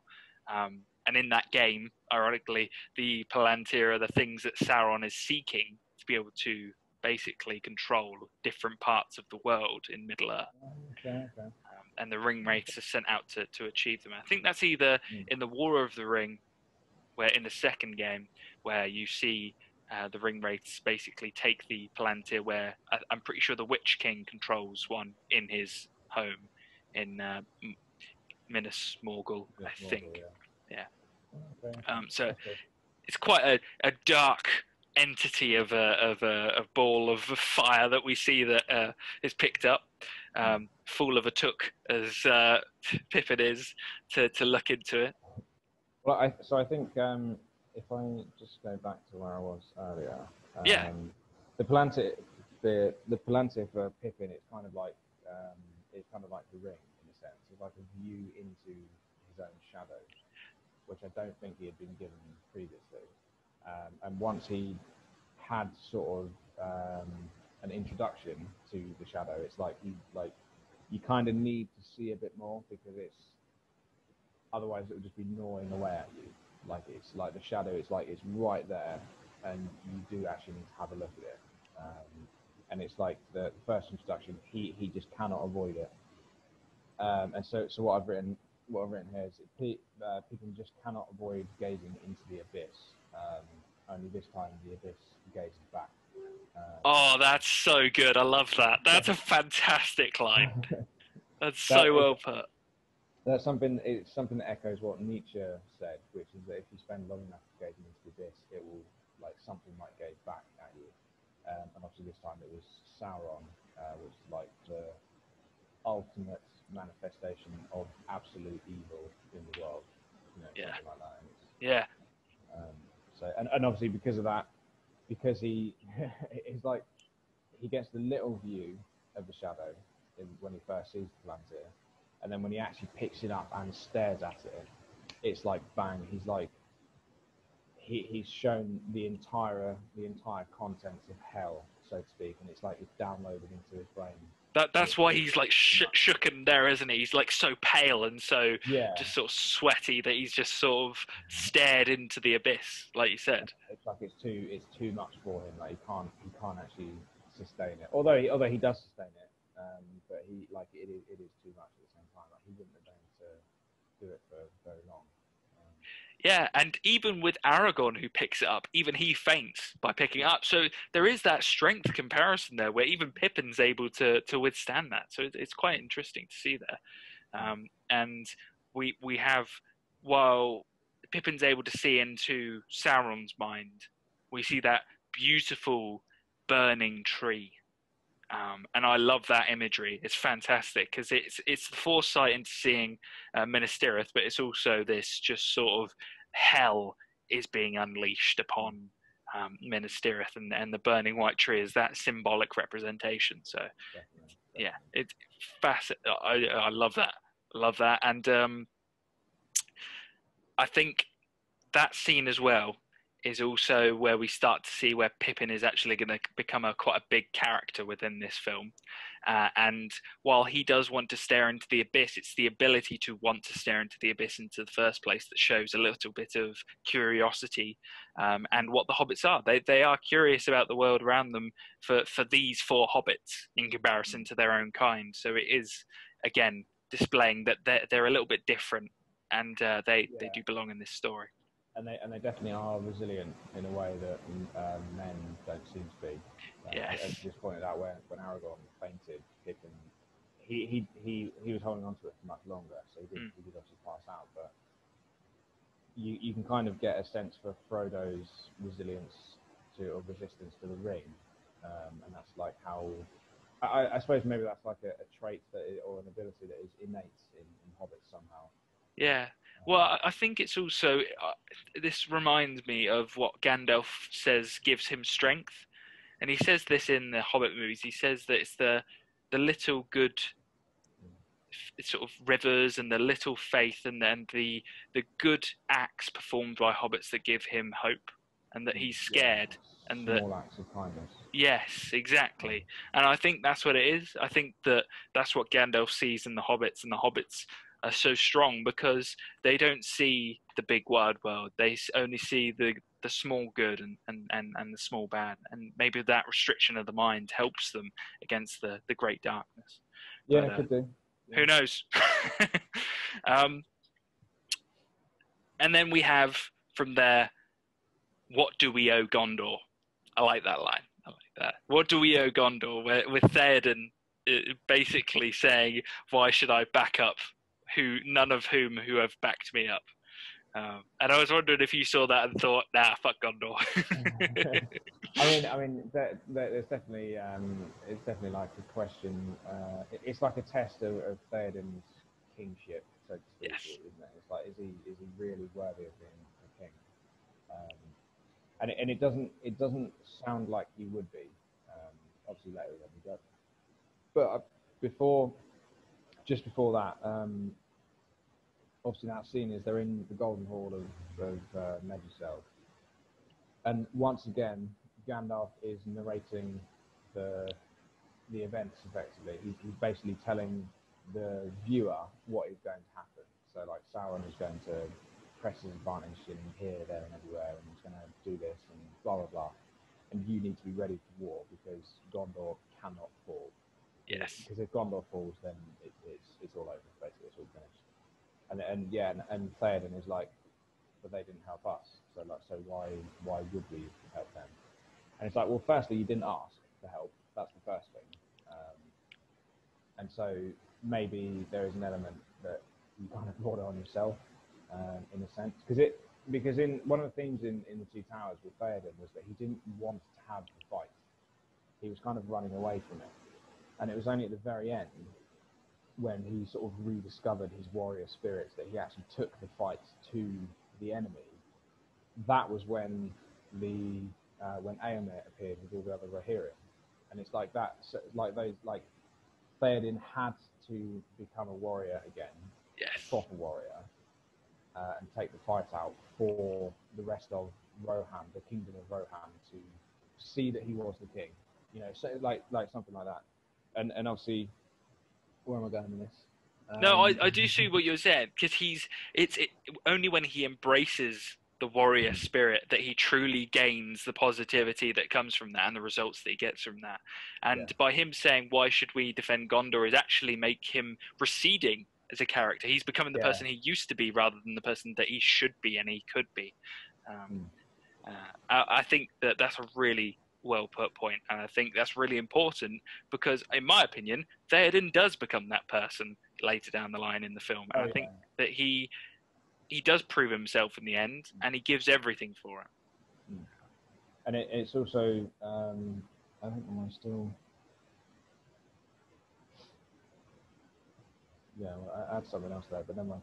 But yeah but it's basically from, from what I can tell in that scene uh, Gandalf so, so Gandalf and Aragorn both kind of have the, the vision of Horus so to speak they can see what's coming Pippin now has that as well I think Yes, like in a very small dose, so to speak, but he was able to communicate it at least and, and tell Gandalf so that they could make a plan. Um, I feel like I've missed a, a, a- a scene here, but, but yeah, it is. It, it's an important moment because then obviously they then Gandalf Yes. can ride off to. well, uh, you say you have you haven't missed a scene at all. It's it's very a shortcut. It's very the, the, there's like a very sort of Pippin takes the Palantir and then he looks into Gandalf's eyes and it's like cut and we're back into the the hall and it's uh, that planning scene then. Um, so it's it's it's it's a very sort of condensed like oh my god this is a lot of information to take in all at once sort of thing. So, uh, yeah, and and and it, they're right. It, it does become quite a bit of a slow burn at the beginning, and then we're getting quite a lot of action happening now because from here on out you've got uh, the plan basically to rescue Gondor from the, from there from this part of the storyline, and the story gets chopped up into different perspectives uh, from from here. And I, I, do you do you know why that is uh, in any way, shape, or form? Um, no. That's all right. No, I, I was just intrigued because yeah. for, for me, I think it's uh, it's a common thing done in books sometimes to have multiple perspectives, um, and it sort of makes the. It's something that annoyed me in the previous film was constantly having to deal with seeing uh, Merry and Pippin scenes, which weren't nearly as interesting as the battle sequences uh, Yeah. that we saw within Helm's Deep. But I think it also goes back to what you said earlier. If we have loads of highs and lows, it's not really going to make a great story sometimes. And Mm. so you have to have these different changes in perspective um, to to basically keep that story going. Mm. But anyway, we're, we're, we're moving on into the next bit where we're we're going with uh, Merry. So Pippin and Gandalf go to Gondor. It's very short. You just see them leave within very. Uh, he says goodbye to Merry. There's a very sort of short period of time where he's like, the enemy knows who you are. They you think Mm. he thinks you have the ring, Mm. um, and Yeah, I 'cause like he that. he knows that a halfling have, has it, doesn't he? Exactly. And Mm. so it's this sort of they're going to use that to their advantage as a way to basically draw the heat off Frodo and say that Pippin has the ring. Let's Mm. move him to, to Gondor to keep his eye fixed on Gondor, Mm. um, which is smart move from Gandalf's part. It's, it is a, almost as if he can see into the future. Oh Um, yeah, definitely. Certainly because he think because he knows that Sauron would is thinking that the men are going to use are going to try and use the ring against him. Yes. And so I think he, he's like he's kind of playing into that into the it, it's not necessarily a trap, but it's like we'll we'll just let him continue to think that. Because Sauron still thinks men are weak, no matter what Yeah. happens, basically. Yeah. yeah. Yeah. Well, they are they are kind of weak, but yeah, we can come back to that a bit later on. But I, I, actually, just on that, I, I had a I don't know another kind of thought on it, going back to the two towers um, when Faramir decides to let the hobbits go. Um, it's only after Sam tells him um, that his, the reason that his brother is dead is because he tried to take the ring. Yes. And so it's like, if you imagine Boromir to Faramir, uh, Boromir is like the best Gondorian, the best man in Gondor that there's ever been. Um, and it's like, like this powerful moment of realization, like he, he's going to do what his father would want because that's what his father would want, and, and so on and so forth. And then he learns that Boromir died because of because he tried to take the ring. Yes. And it's like, so if, if the greatest man in Gondor made a mistake, then I need to not make the same mistake. Because if, if Boromir fell to such an extent, and he was such a hot, such a great man, what's going to happen to the rest of us? Because it'd be the same thing, and it might be it might be much quicker, or you know whatever. Um, and, and I think that's that's kind of the moment of realization in that film that, that why why he lets them go. Yeah, I think that's also a really important statement as well. Is that um, Far- Faramir's realization, and we see that in the, in this film, is that Faramir seems to be the only person who understands that actually Boromir wasn't perfect, and it's as if Gondor still thinks, and uh, his father as well still thinks that Boromir was perfect. Um, and and then there's this sort of like comparison happening consistently, and you know we'll talk we'll talk about that in, a- in a bit. But it is really interesting. I'm glad you brought that out. Mm. Um, and we're moving on to a, a very different scene here that um, I think again bringing into premonitions and bringing into foresight is uh, the Elven Road, where Arwen is traveling to to the Sea Haven, Mm. and he, she sees her and Aragorn's son. And it's a very, I think it's quite a beautiful scene. It's really well shot. It's got a lot of, it's what I would class as like a misty, very like you're in a dream state. It does Yeah, feel like that, yeah. doesn't it? And yeah, uh, definitely, definitely. I love the colours. It's great. It, yeah, because they're, they're kind of walking in like the moonlight, aren't they? They're- Yeah. Is that the one- is that the one they move in? They're, they're not walking during the day. It's like they're moving in the twilight somehow.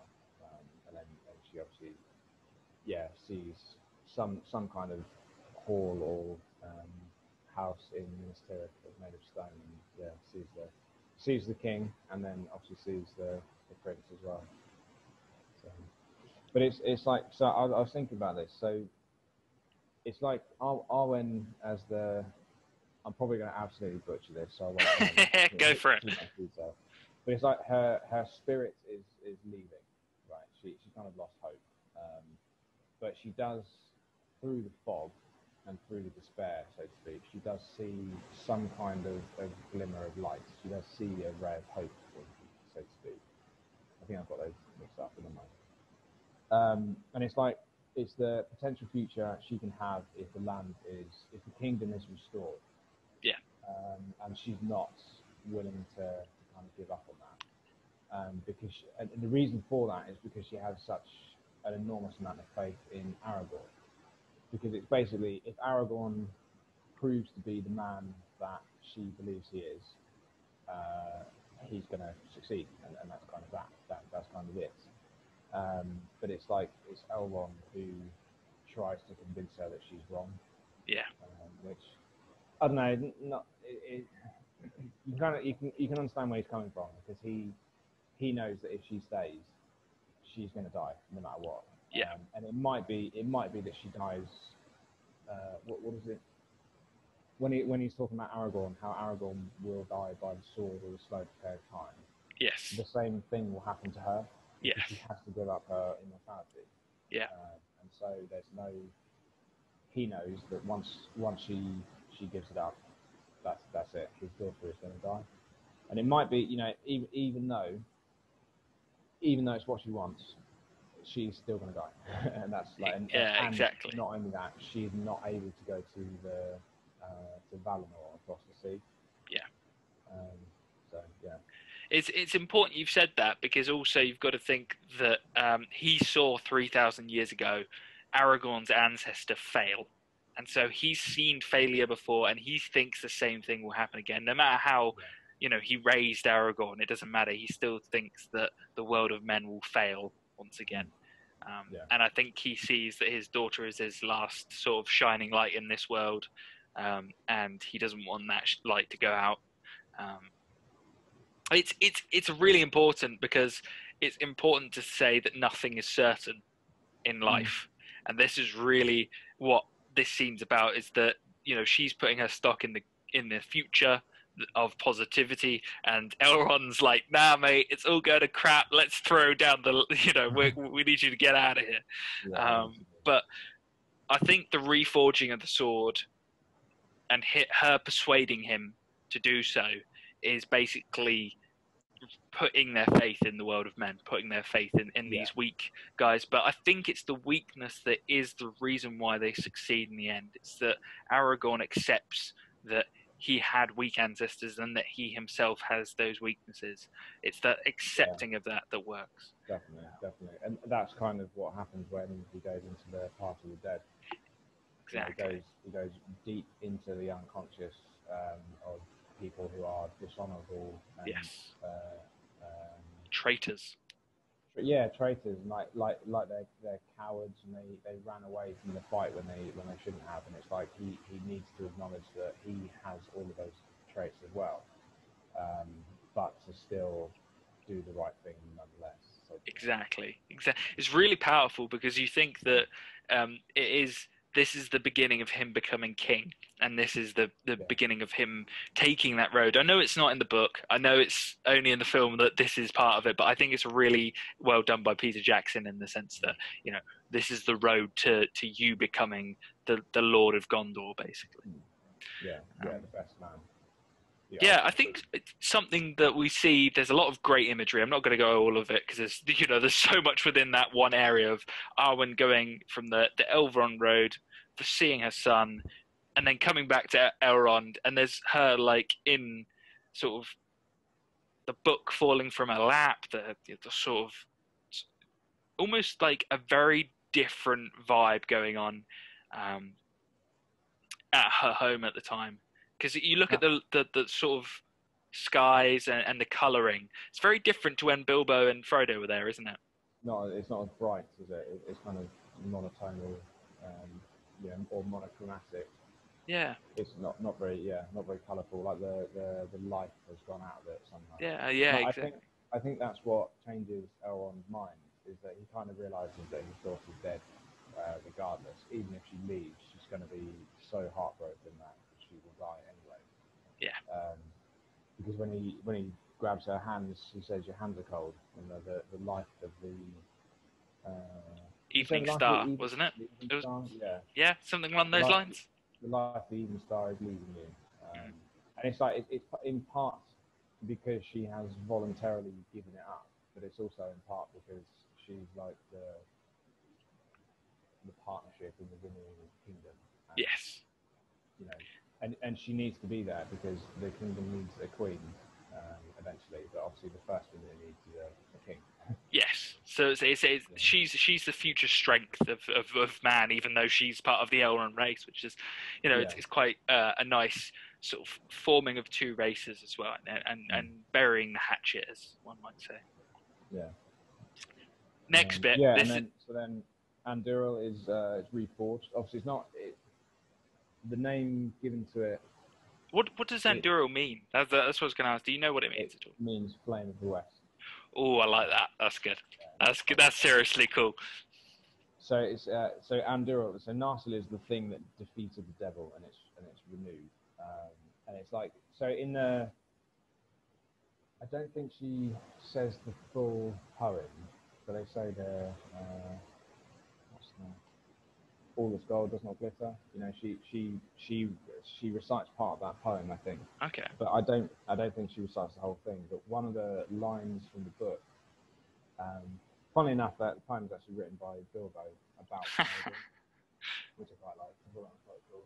Um, is that the, the old that is strong does not wither, um, and the, so you have this blade that's been broken for a long time, but because it is strong, um, all it kind of needs is re, you know put that together and then it's like it's the same blade that it was that it once was, although it's now wielded by someone else, and so and, and it is a new blade in a sense because it is. I think they they give it like elvish enchantments or whatever, um, and it's given to the, to the rightful king, um, and so it, it's kind of like an Excalibur kind of thing. It's like It is, like yeah.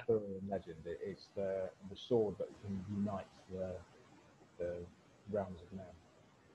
That's a really good comparison because also you have to think that Arthur had to to pull the sword from the stone in order to, to, to get it as well. And in this case, we're reforging it from uh, the flames of the elven uh, elven yeah, world. it, it's like it was useless for a little while, and now Yeah. its, um, its use has been restored. yeah, like that. That's Mm. really good. And uh, we we move on from from that to you've you've got this sword that's going to unite men, and we see the broken city of men, which is Minas. Tirith. It's a very quick transition. City of Kings. Yeah. Yes, the city. I'm glad I've got that written down as well. The city of kings. Yes, and it's not really anymore, is it though? So it's a broken city because we, you've got a man, Denethor, who's leading it, who is neither king and he's a steward who's basically what I think you put it well last time. He's like a lord, basically. A um, Yeah, it's like a, a caretaker of the throne. yeah, exactly. Um, and we we see how bitter and full of ill will he is within this scene. It's it's a really important uh, scene between Gandalf, uh, Pippin, and Denethor here. So ju- just before we get to that, so Oh yeah, yeah. What, what have you seen? it's it's the it, it's nothing particularly archetypal, I, I would say, but I, Mm. I I wanted to read the description of Minas Tirith from the book. Oh yes, yeah, yeah, yeah. I do like this. it's only I don't know a couple of couple of lines. It's not No, do long. go go for it. I haven't read aloud for a long time. so it might- Go. it go very well. So, so you imagine a, you know, it's like this grand, majestic uh, Yeah. city that looks like it's been carved out of a single piece of stone almost. It's like like the the rock has been taken back and revealed this seven-leveled, uh, thousand foot high city. And it's like it's beautiful and it's white. It's like this shining jewel in the mountains. That's a- Um, That's exactly how I did picture it. A jewel in the in the eye Yeah. of Gondor. It's brilliant. Yeah. it, and it sits. Uh, I, I texted you this, I think, didn't I? It, it sits opposite um, Mordor. So It does. Yeah, the shadow. at the Yeah, shadow, yeah, yeah. Which I think, I think, in part, is why Denethor is kind of loses his mind because all he can see is the shadow. He can't actually see the. Maybe because he never leaves the city and he never looks up at its majesty, um, and so he's kind of he loses faith in it. Um, but I'll, I'll just just read it quickly. Yeah, yeah. I- go for it. There we go, anyway. Yeah. For the fashion of Minas Tirith was such that it was built on seven levels, each delved into the hill, and about each was set a wall, and in each wall was a gate. But the gates were not set in a line. The great gate in the city wall was at the east point of the circuit, but the next faced half south, and the third half north, and so to and fro upwards, so that the paved way that climbs towards the citadel turned first this way and then that across the face of the hill. And each time it passed the line of the great gates, it went through an arched tunnel, piercing a vast pier of rock whose huge outthrust bulk divided it into divided into all the circles of the city, save the first. For partly in the primeval shaping of the hill, partly by the mighty craft and labour of old, there stood up in the rear of the wide court behind the gates a towering bastion of stone, its edge sharp as a ship keel facing east. Up it rose even to the level of the topmost circle, and there was crowned by a battlement, so that those in the citadel might, like mariners in a mountain ship, look from its peak sheer down upon the gate 700 feet below. The entrance to the citadel also looked eastward, but was delved into the heart of the rock. Thence a long lamp, a long lamplit slope ran up to the seventh gate. Thus men reached at last the high court and the place of the fountain before the feet of the white tower, tall and shapely, fifty fathoms from its base to the pinnacle, where the banner of the stewards floated a thousand feet above the flame. I thought there, I, I, thought, I thought that's like quite a beautiful, almost poetic description of like this this great city that is, is uh, keeping the forces of Mordor at bay. I quite like that. I like that it talks about it how it carves into the rock. The the there's a very sort of strong but beautiful vibe to the city in that sense, and uh, it does make you think in that description as well how important the city is. And it's not just some sort of normal city. It's seven levels, and it's got all these ba- barriers and doors, and it's you know it's it's got this beautiful pale white citadel. It's the description alone shows how um, this is the city of men. This is Yeah. the height of all intelligence and and, and uh, This is the- earthly values. Yeah, Yes. thi- thi- this is the pinnacle of what of what mankind has so far achieved. Yes. Ironically held by a man who could barely tie his own shoelaces sometimes, it seems, when you look at Denethor. Yeah, Um, it does. It does seem that way.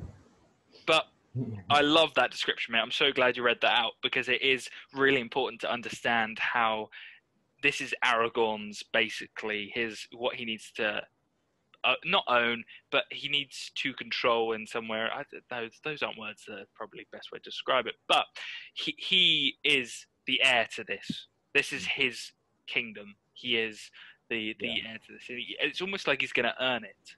You know, this beautiful yeah. city. definitely. And and I like I like the fact that the the, the white tree of Gondor, uh, the the tree of life, um, sits atop the stone kingdom. It's like it's the, the kingdom is made of solid stone, and yeah, and it's yeah, and then you have something living. Well, actually, no, it, it is technically dead, I suppose, at the top. At the moment, yeah. Yeah. Um, yeah, I, like, I quite like it. Yeah, because you've I got like- that. I, I love I love the, the language Tolkien uses. It's so like it's so there's almost like a melody to it. Um, yeah. Anyway. He he's uh, he's getting uh, the rhythms of life across, and I Mm. do like your point there where the tree is on top because it's almost like the stone and everything, and the everything points to life. And I know, and the tree's dead at the moment because it's controlled by lesser men, uh, Mm. and that when it is controlled by the heir of Gondor, hopefully it can thrive again and life can thrive. Mm. Yeah, important important point to make because it is the rhythms of uh, Tolkien. Mm. Um, yeah, uh, after you talked about that, I feel like this is such a like negative scene to talk about in comparison to the beautiful description that you've just pointed out. Because De- Denethor is just, you know, he's he's not a fun character, and you've got Gandalf trying to be the negotiator basically on on behalf of Rohan and and, and the rest of the men basically. Yeah. Um, Yeah, and Denethor's almost like stubbornly um, refusing. It's like, no, I don't care. Like if everyone dies, I don't care. Yes. Yeah, he's he's yeah. What's the word where he- not not patriarch? Um, it's, it's something along the lines of uh, where you- where you just uh, kill yourself in the name of everyone else. Basically, you're uh, you're a martyr. I think the word Uh, is. yeah, yeah. Like I mean, he does he does immolate himself, obviously, doesn't he? At the end. Yes. Yeah, it's a very good point. Yeah, it's a very good point. Um, he does do that. Uh, see, again, I saw an image today uh, of Boromir with like a thousand arrows in his back, and it brings back the the words that you spoke in the, in the last uh, podcast about it was not just one arrow that pierced Boromir; it was many. Um, Yeah. And this is a really important point that Pippin makes in, in this scene. And I want you to, to describe it now because you said it best in the previous podcast. So I think it's, it's really good. So, so obviously, they as they get to the, the top of the citadel, um, Mm. I, I don't think you look out, but they're, they're at the top of this, you know, this majestic city, um, and then there is there is the king's chamber, whatever it's called. It, it does have a name, but I can't remember what it's called now. Um, but as you walk in, you've got like uh, stone effigies of, of kings, you know, in times gone by, and they're like Yes. holding things like they're looking like super philosophical and, and stuff like that. And then you obviously at the end of the hall, you have the some stairs going up to the throne, and then you have the steward sitting beneath it, uh, and obviously that's where Denethor's sitting. He's kind of sat there, like looking a bit dejected, and uh, if that's a word, and looking a bit sad and like looking uh, feeling sorry for himself almost. But he's also like angry at it. Yes. like he's, he's he's ready for a, a fight of some sort, but it's like he's not really looking in the right place for it. It's just and like any fight will do, and I'm just going to roll over anyway. um, and so it's like, yeah. So so Pippin, Pippin's walking in, and he he obviously is kind of overwhelmed in a sense by the, the majesty of, of what he is in, because there's history in and it, and there's stone pillars and they're in in the book. I don't know actually if if it's right there, I'll read it. If I can see it immediately, I'll read it. But if not, I'll just let it go. Um, but it's, it's yeah, so it's, it's basically the, there's like stone pillars that reach high up into the into the, the roof and stuff, and it's like like the, the city is still going, so to speak, and there's still a lot above it. Um, I mean, It's, it's a lot different to, let's say, the Shire in comparison. Oh yeah, yeah, definitely. You know. definitely. It's, it's yeah, it's like this grand hall, and it's like it's even more it's even more grand than uh, uh, Rohan.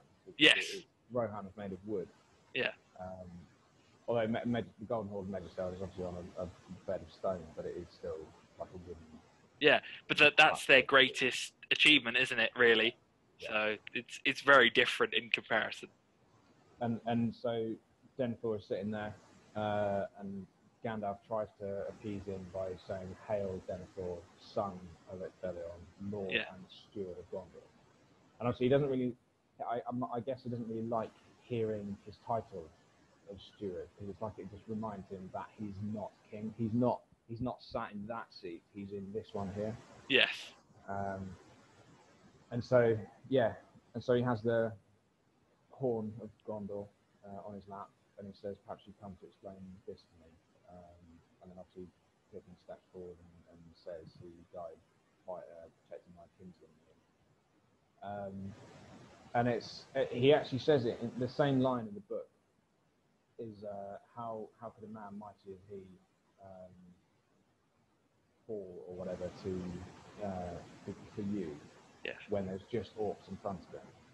And he and he and Pippin says the line, which I've said in all podcasts so far, that the mightiest man maybe fell by one arrow, um, but Boromir was pierced by many. And in, in the book, he says, I last saw him uh, leaning against or sitting against a tree, and he plucked an arrow from his side. And so it's, it's almost it, it's kind of hinted at that he was pierced by more than three arrows anyway. Um, I think that was just a good uh, visual for the film. Yeah.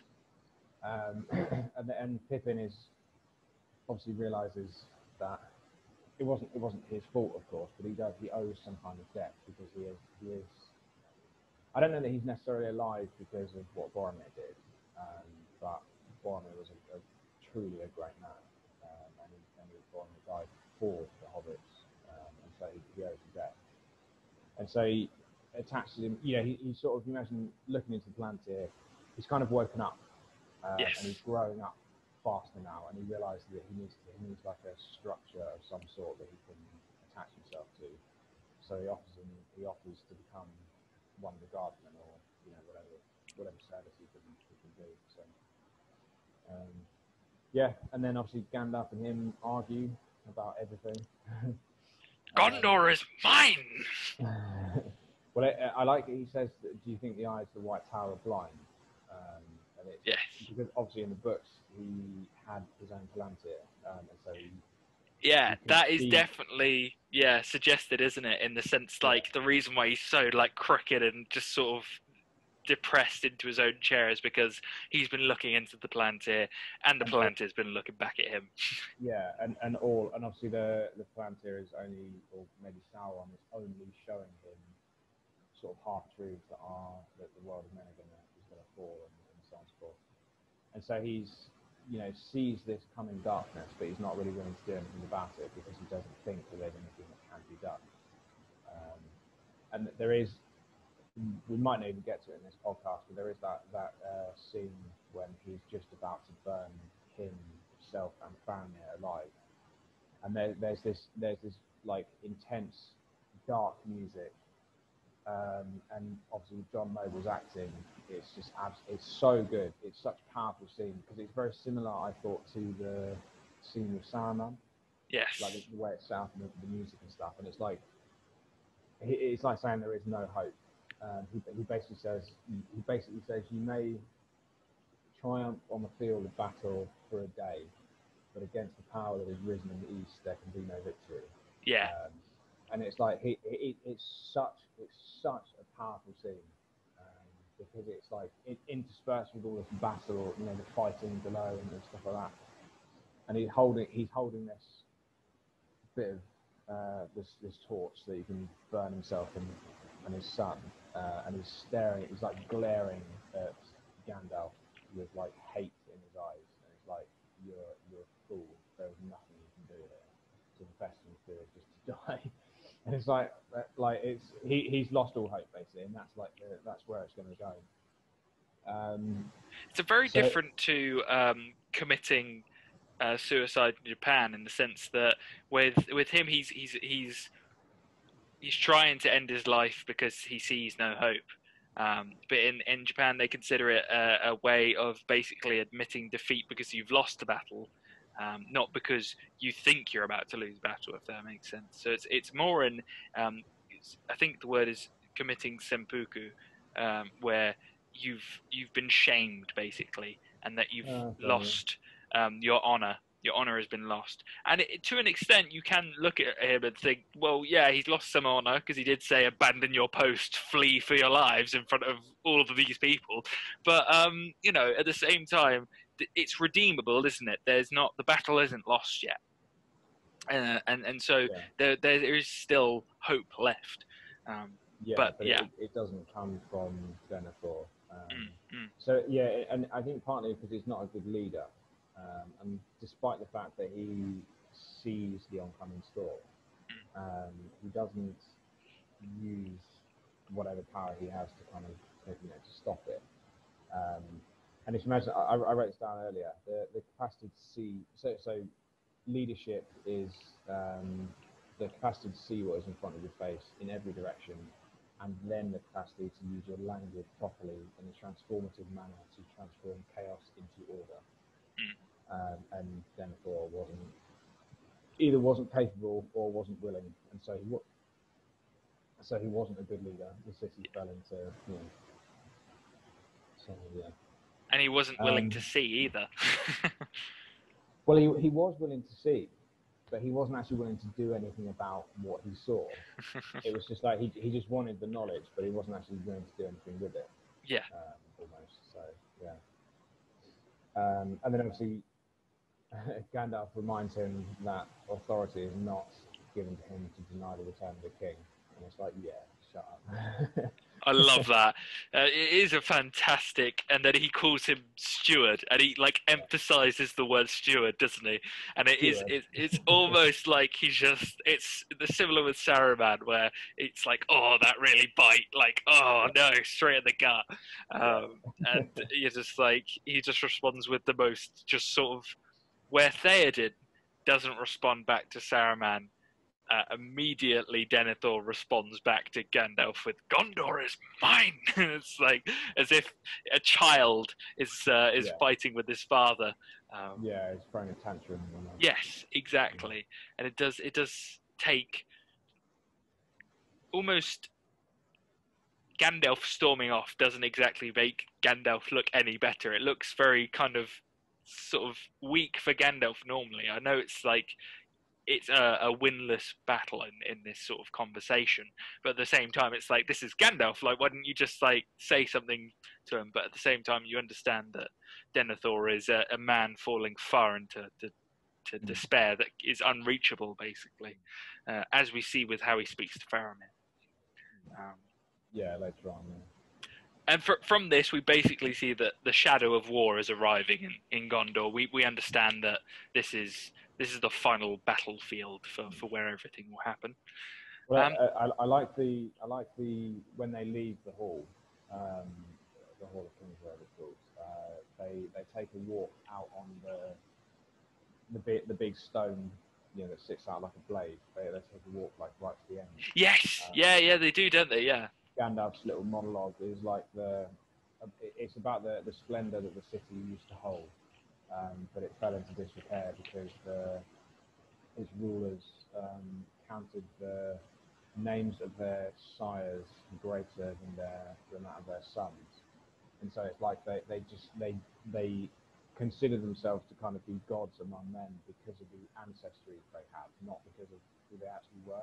Yes, um, and so they didn't then pass on the idea of the splendor of Gondor to their sons, and so then obviously, you know, it, it doesn't take you know a few generations of that, and then all the original wisdom is lost, and, and then that's that. it makes sense, doesn't it? It makes sense why Denethor is so just sort of like this is all, you know, ownership of of this place. This is all mine. There's no sort of appreciation for what he has around him. You can definitely see that. Mm. Um, and you see uh, little Pippin basically become in the service of the steward, which I think's fun because you get to see Faramir basically say that this is my uniform. Um, and he- that that comes later, doesn't it? it does, yeah. No, I just I wanted to like link it first, just because yeah, fair, fair. um, it's really funny to see Pippin in this sort of scenario where he's um, he's he's become something other than a hobbit because this is the first time we ever see him become like almost like an adult because he's got like actual stuff to do in, in some way or another. Yeah, um, exactly. and we've we've gone from this scene where it's very serious, like very sort of like the fate of Gondor depends on this conversation, um, to you know Pippin becoming a, a a sort of soldier, which shows that someone who is basically up to this point a comical character becomes quite serious, and it is this sort of transition that we're seeing in in the film. Mm. Um, but yeah, like you said, but there is a scene w- that that I have skipped over before we've, uh, and that's the uh, extra scene which we don't see in the the original film, which is where um, Frodo and uh, Sam are going through old Gondor, basically uh, the old outskirts. Uh, that's yeah, uh, yeah, that's it. I remember that. So was that not in the original film then? No, no, it's um, an extra cut that they they uh, they've cut out because it didn't really add a lot to the story. Um, Yeah, it, it was more. It was more just like a bit more symbolism, I suppose, wasn't it? It wasn't yes, exactly. Um, I did, I did like that the because they passed by the statue of the king. Uh, And Yes. its head has been replaced with like a big stone boulder with like Yes. a, an iron helmet on it. Um, which like it shows you the, the level of disrespect that the, the orcs have for the world of men. Yeah. It's like a, a great king in you know time gone by, and it's like, oh well, who cares? Who cares who he was? um, but I did then. I, I actually can't remember if that's how the scene starts. Um, but I, I, I like when they walk past the king's head, um, and it's also got the weeds sort of wrapped around his crown, uh, and the sun shines through, and you see. I think it might be king's foil, you know, that, that yes, plant that, yeah, the uh, plant. Yeah. Um, I, I, I and, and then you see he's got the, you know, the king has a golden crown, um, but then the, sight go, the the sun goes behind the clouds again, um, and it, and it's there's this idea that, or it, it seems to be that it's like the the crown isn't actually there. Um, but if you think about it, like the crown is only reflecting the light of the sun. The sun is actually still there. It's just behind the clouds. Yes. So it's like it's like the the king does have a crown, a genuine crown. Um, it's just that you just need to remember what it doesn't always look like. Yeah. Um, and I think the the line the uh, that poem "All that's gold does not glitter" comes to mind there Yeah. because it's like the, the king still doesn't have a crown. It is a golden crown. And, Yeah. You, you and me got a, d- a very different sort of view on that scene. I, I didn't see that at all. I, I, I focused on um, Sam, basically his his words of of sort of optimism towards the king, basically bringing the sunlight into the scene. His optimism, his positivity, his shine on on the scene is that he is um, what is keeping Frodo there, and therefore keeping Frodo alive, and and, and his physical ability to basically have the environment around him change is, is the in, in this scene he still has that effect um, and much later down this movie we see that it, it's slowly taken away from him because of the environment the, the darker the place is the less effect sam has on frodo um, but i do get what you're saying there that's very interesting to see Yeah, it's like Sam, Sam is Sam is also a little ray of light. Yes, yeah, that's what well, I, I. I know it's corny, but I liked it. I, I Yeah. did. I did think that was fun, um, and that I, although it was cut from the film, I still think that film did have that scene had something to give, even if it was cut. But again, Yeah, it was already a four-hour-long film, and you can't exactly uh, cut that anymore than you already do. Um, and we have the nice. So I, I've spoken about the service of the steward with uh, Pippin, which is the immediate scene after that. Um, and I love the scene where Gandalf and Pippin are stood together on the sort of back, sort of apartment area at the top, and they're staring into sh- into the shadow um, that is Mordor. Um, and Pippin says it's so quiet. Um, and. Gandalf responds with the yeah, yeah, yeah, exactly. The the deep beneath before the plunge, and it is. I love that. It's so important to think that this is the the silent moment before we see just hell is unleashed. And I've said that multiple times within this podcast, but this is truly hell. Like this is like Yeah. the worst thing that could possibly happen to man happens. Uh, Yeah. we see just like a, a bucket of darkness just be chucked across the floor. Um, yeah, yeah, it's like yeah, like throwing a, a bucket of oil. yes, yeah, that's it. Yeah, yeah, yeah. Um, and this is Yeah, I it. like, I like I like that, it, that it's, it's again it's Gandalf narrating for the viewer. It's like that it's, it's giving us sort of the, an image of uh, what's what's really happening. The, the board is set and the pieces are moving. Yes, like this, like it started. This is it. It's, it's that's that's a really good way of putting it. It is a chessboard, isn't it, in some way or another? And uh, at the moment, Mond- Mordor is has some sort of advantage over over the uh, city of Mm. Gondor. Mm. Um, and as well as Gandalf narrating, he also states that is you know you have that sort of interaction between him and Pippin. Is there any hope? And it, it, just a fool or so. And I love Mm, Yeah. that because it's just so like, yes, this is it. It's the hobbits are fools, and therefore it's the hobbits who are the hope for um, Gandalf as well as us. It's not just you know Gandalf is is saving the you know the hobbits for himself because he sees them as the greatest hope for mankind as well as uh, as well as everyone else. And I, I love that line because it's uh, Mm. it's it's making a joke, but it's also so much just sort of hope in that one sentence in that one line. Um, I don't know if you saw that as much as I did, but I yeah, enjoy. yeah. Yeah, de- definitely. Just just a fool's hope. Yeah. I mean, it, it, kind of it shows Pippin that Gandalf is you know he's the man with the plan, but like it's it's the best effort. that's that's all there could there could ever be. That's that's a really good point. Yeah, the be- the best plan he could possibly have come up with. This is this is it. This is the uh, what you'd uh, class as just the last throw, the the last ability to to, to do anything. Mm. Um, I the next uh, bit we see, and this Just is connecting. Oh yeah, go go go go. Yeah yeah. uh, I just need to run to the toilet. Is that okay? Yeah, yeah, yeah. We'll just uh, we'll just click on pause and uh, back in a second. Sweet. See you in a bit. And we're back. And we're just at the scene of the Witch King of Angmar. Uh, and this is the best imagery of a bad guy being introduced probably I've seen so far. I know we've seen him before in the first film. It's not nearly as cool having the helmet on, let's be honest. Like the, the, the silver sort of just like I don't know what to, what to call it. It's like a gauntlet shape, like witch's chin, some sort of thing. I don't know. I mean, in, in the in the book, it is described as a crown. Okay, it's described as a, an evil crown, for that matter. Yeah. and, and, yeah, and it, it, floats on a headless torso, so it's like it's the crown is here, but obviously you can't see the body. Oh, that's so cool. So, yeah, that's a great description in, in, in the sense because when we see him in the film, it's just like a hooded um, creature of some sort.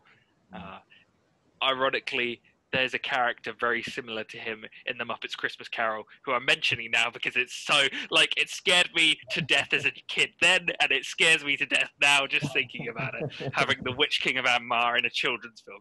Anyway, um, I love the introduction of the Witch King because it's you know Sauron's greatest sort of weapon basically, uh, and we do see that in in this sense.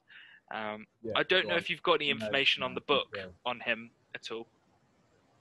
Uh, in what sense? In in yeah. the sense that is there a description that that bases uh, other that it better than the film provides? Because I feel visually it's it's quite. Um, I wouldn't say I, I, don't have a description of what the book provides. I do have a passage that I was I wanted to read. Yeah, do it. Yeah, yeah. The the problem the the thing is it doesn't appear until later on. I, am okay. not sure we'll get to it in this podcast, but we'll, I'll definitely read it in the next one. No worries. Yeah, yeah, yeah, yeah. yeah. But his his kingdom, his uh, kingdom, the city of dead.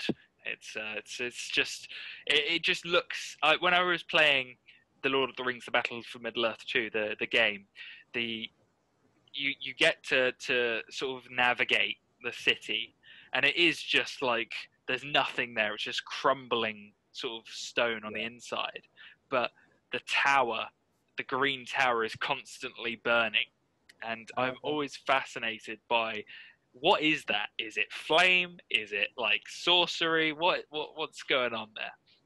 I suppose you, you can imagine that it's it's kind of like um, uh, if you imagine Andúril or Excalibur is like a symbol of a beacon of light. Yes. That the, the hero wields in a sense that would the the light shooting up from the tower of, of Minas Morgul. That's like the opposite of that. It's like the the beacon of light for all the agents of darkness, something like that. Because it's not a pure white light. It's this green kind of sickly, deathly, uh, ghost-like, you know, city, as you like this this desolate, barren place. But everyone has got a rally to it. Um, and then obviously the legions, as as Frodo and Sam there, the legions of darkness spew forth, um, and and they're kind of they're following the they they are following their highest ideal in a sense. Yes.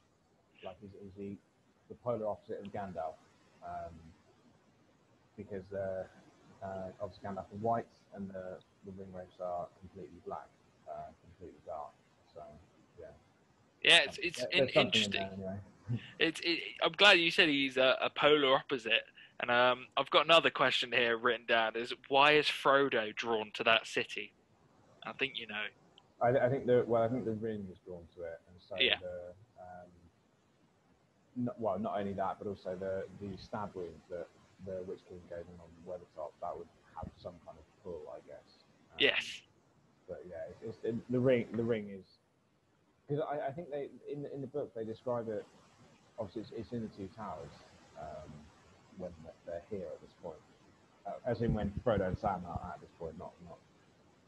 Anyway, um, and and they describe it as it's like they're the air is thick in a sense with something that they they don't like, and it like gives them headaches, um, and it kind of puts them in like a dreamlike state.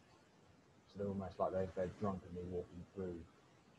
Uh, and then obviously the the city is powerfully magic in a sense. Yes. So it's, it's like you know, attracting evil and, and so Yeah.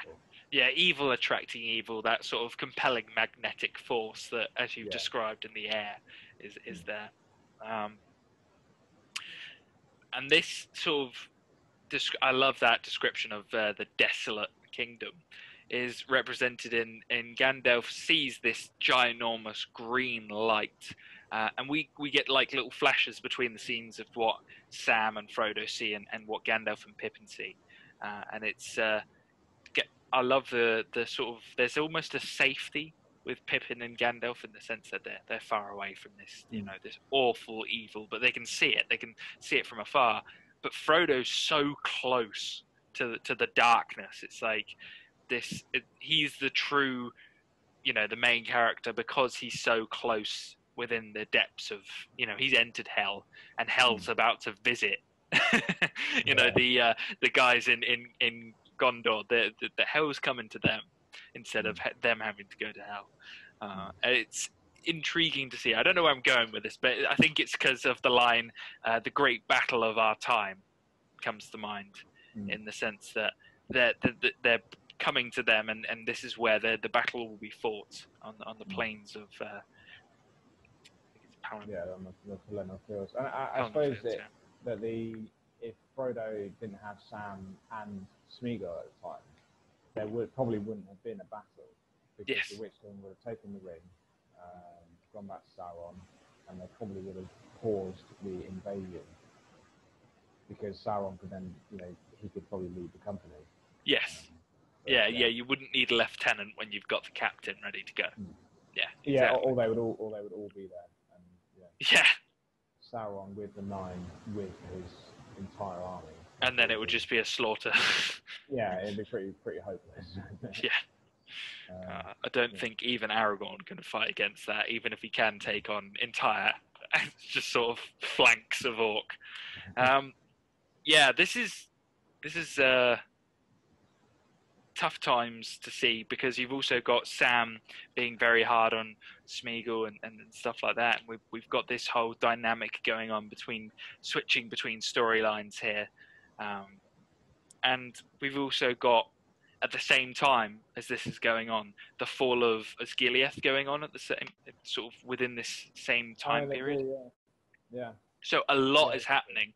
It's really tough to, to sort of keep up with it with it all. But I think it's brilliant because the more that's happening, the more I'm engaged in the in the film. I don't know about you, but I just feel that I'm like, oh, that's going on, that's going, oh, that, that that's happening at the same time, and so it's. Uh, I think that Peter Jackson's really kicked kicked it in, and when we see um, Os- the Osgiliath battle, we're just this is the like the first introduction to the to the invasion, um, and we Yeah, get and introduced and to it's the kind of in secret again, isn't it? Exactly the, the, the introduction of the, the captain of the orcs who's just pure unadulterated evil uh, he Yeah. is just disgusting to say the least but uh, brilliant yeah, uh, and yeah. He must have had some some kind of industrial accent. yeah he, he had to call some 0800 number and then never got his claim back afterwards yeah. um, but I, I, I love that that's done in the shadows, don't you? It's done done in the darkness. It's going from from the mist, and they're they're on the water, um, and they they invade from from the river. And it's uh, Yeah, because they thought they were going to come from the north. Yes. From, um, I think places. And then yeah, and they're like obviously all the all the, the men, the, the soldiers of Gondor and the rangers and stuff, they're all just sort of hanging out. Yes. night sort of thing. And then it's like all of a sudden the city is basically it's basically already taken at this point. You know, it's it's it's kind of too late really. So then obviously yeah, yeah, because there there's just no they're not prepared in any way. yeah. Um, and there's and- not enough men. Yeah, there's the, yeah the army is yeah the, the army's too great for them. Um, Mm. but Faramir, we see Faramir show bravery again. We we see him like even though the the battle is almost already lost, he's Mm. like fighting and he's already saying we've got to at least resist this. Um, and we see this element of of Boromir in Faramir as well. Since Definitely, definitely, and, and certainly because he he's um, he stands with his other rangers. They stand at like the doorway to where where all the orcs are coming through, and obviously he lets a couple through because you kind of need to let your men deal with what's happening. But then it's up to him to hold back the storm, and so he he's got to be like the the bottleneck, and so he's got to like let he's got to let some through because he can't fight everybody.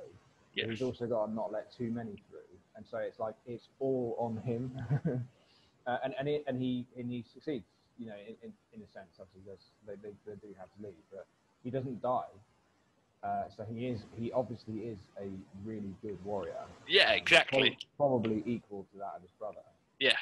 And it's it's important to say that because let's be honest, Osgiliath isn't exactly an easy place to defend. Like there's it's just just a fallen city with like holes in it and rivers Yeah. and so many ports of attack basically. So you know you got to be fair to him in, in this point. Um, Yeah. I don't know whether I've skipped a scene here or not because I feel like I'm, I'm about to skip to the lighting of the beacons. What do you do? You have anything before that that you want to tackle at all? Uh, no, I think that is. I'm trying to. I, I, I can't remember the exact order, but yeah, the Mm. beacons are. I'm pretty certain the beacons being lit is the, the next. Yes. And whenever someone says that, I immediately think the beacons are lit. Gondor calls for aid. Um, and it's so much fun uh, for for me to constantly say that. Um, but the I've got written here they're the representation of hope. Uh, the the beacons, and I do like that they're lit by Pippin and Gandalf because they they are part of the, the, the army of hope, basically. Um, yeah, yeah, and uh, they they represent that sort of Rohan Gondor connection. They're trying to link the two together. They're trying to to, to create that sort of Mm. bond, even if Denethor is willing to tear the entire place to, to, to shreds. Um, yeah, because he wasn't even really willing to light the beacons, was He He wasn't. No, he said he said that why should we ask for help, basically, just like Theoden did, Mm. uh, and uh, it's funny because I say that now, but Theoden now shows his true colours in this Mm. scene. It's like we've been questioning up to this point whether he can truly be a man. Can he truly show who he is? Yeah. Um, And and is he really the king that, that Rohan deserves, or the, Yeah. the, the kingdom needs or deserves, whatever? Yeah, I do like it. I, I like to see in, in the book the, the beacons are being lit as Pippin and Gandalf ride into Minas Tirith. Oh, I, I think it's I think it's slightly more powerful, certainly visually, as it, you know the, the helicopter or the drone or whatever flying over the mountains. You see these um, land like lanterns. how they did that, I have no that. idea. Have that epic music as well. It's, that, that's a good shot. Yeah, And then obviously Aragorn spotting it and running in with beacons lit, blah blah blah. And I, I like it, it's a good, it's a good. Um, I, I don't know, maybe maybe, it, maybe it's a bit simplistic, but it's like it's like almost a, a good bit of acting because it's Yeah. like Like he's he's really weighing it up because he knows that not only is going to war mean that a lot of people are going to die, um, him included, he might die as well. Um, they've also actually got to go to war. Mm. Like that, that in itself is a big, a great effort, and then you've got to do all the fighting. And it's like, all right, yeah, um, Rohan will answer, so we'll, Yes. we'll, we'll ride to their aid, and, and that's that. And then you have that the the moment he says it, you have the horns blowing, and you have the music, uh, and it's like, yeah, he's a king, cool. Like, there's no, there's, there's kind of no more doubts. anymore yes, exactly. Like, After that, yeah. he is actually he is willing to ride out into battle rather than wait for it to come through the doorstep. Um, yeah, it's good. Good moment. It is, and he shows and and uh, Merry. I've got written down here Meriadoc uh, Rohan Esquire. Uh, because he becomes that little man. It's it's it's kind of funny because I understand why they cut this scene now from the movie because it doesn't make sense. Why would Theoden like knight you know make him an esquire if he wasn't going to let him go into battle later on in the film? Uh, so I do understand. It doesn't really make sense. Like why would you knight somebody and then like not let them fight? Uh, uh, but you know, it's just just a fun scene to see because it's like, oh, Merry's going to become an adult as well as Pippin. Yeah, definitely. Yeah, and then yeah, ride into battle and hopefully live. Uh, where the doom of our time will be decided, my friend. Uh, the doom of uh, our time. my battery is just running low. I'm just gonna grab my charger. Yeah, no worries. I'll just pause it for a second. And we're back again. Um, we are talking about the ride from Osgiliath to uh, Minas Tirith, where Osgiliath has been lost, and you got the first wave of death. Basically, we haven't we haven't really seen a lot of death so far. Uh, we've only seen, yeah, I think that. Am I right in saying that? Or if we, Th- th- This is the first battle we've seen, isn't it? yeah, yeah, yeah. yeah, So this is like the first bit. Yeah. Um, and as you can see in the film, the Nazgul are absolutely tearing the riders apart. It's absolute pandemonium. Uh, they are tactically like you know how Sauron has like nine riders, like nine ring wraiths. It's really unfair because like men don't have nine Gandalfs; they've just got one Gandalf. You know what I mean? Yeah. So It's, Yeah. it's just unfair. Yeah, just- and it is, and it is. I, I think that's why Gandalf rides out to save them. Um, Yes. And, he, and he, he uses a bit of magic because He it- does, yeah. He's only allowed to use it um, when there's an unfair advantage, I think, and because obviously the wraiths are. Like, I mean, firstly, there's no real really attacking a dragon as it is. Yeah, Certainly not when it's when it's being ridden by a ring wraith. And there's no there's no way of killing them um, for, for ordinary men. So it's like yeah, it's com- completely unfair, and they're running away. it's like like how much more of a defeat do you want it to really be? Like, can you not just let them run? Um you, Denethor's already- like just sat there in his chair, just like I don't think we should have lost it so easily, should we? yeah, yeah as, if, as if it was easily given up. Yeah. but yeah, I love that you've got Gandalf, the White Rider. You know, the light. I love the the white light that comes out of his staff, and it's like Yeah. the changing music, where you've got the sort of.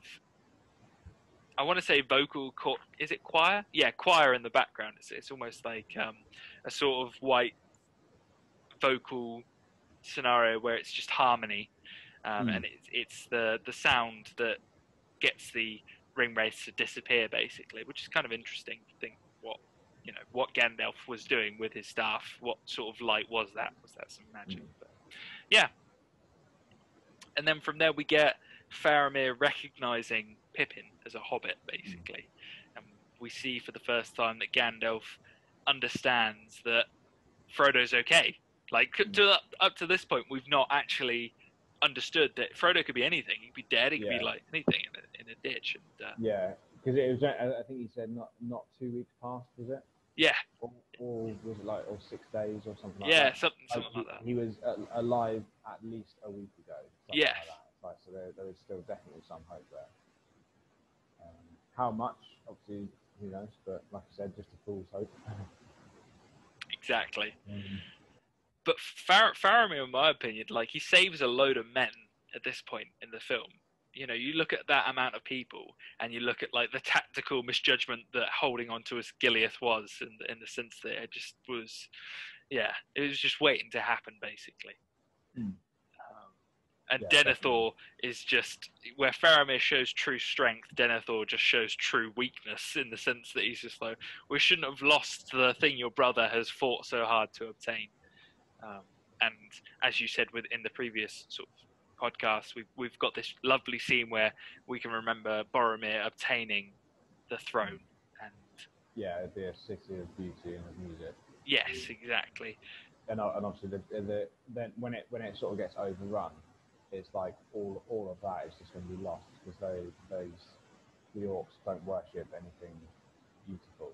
But, No. you know, it's just horror. Um, it's, I, I got it written. I've got written down that it's the, the city of beauty is overrun by devil worshippers.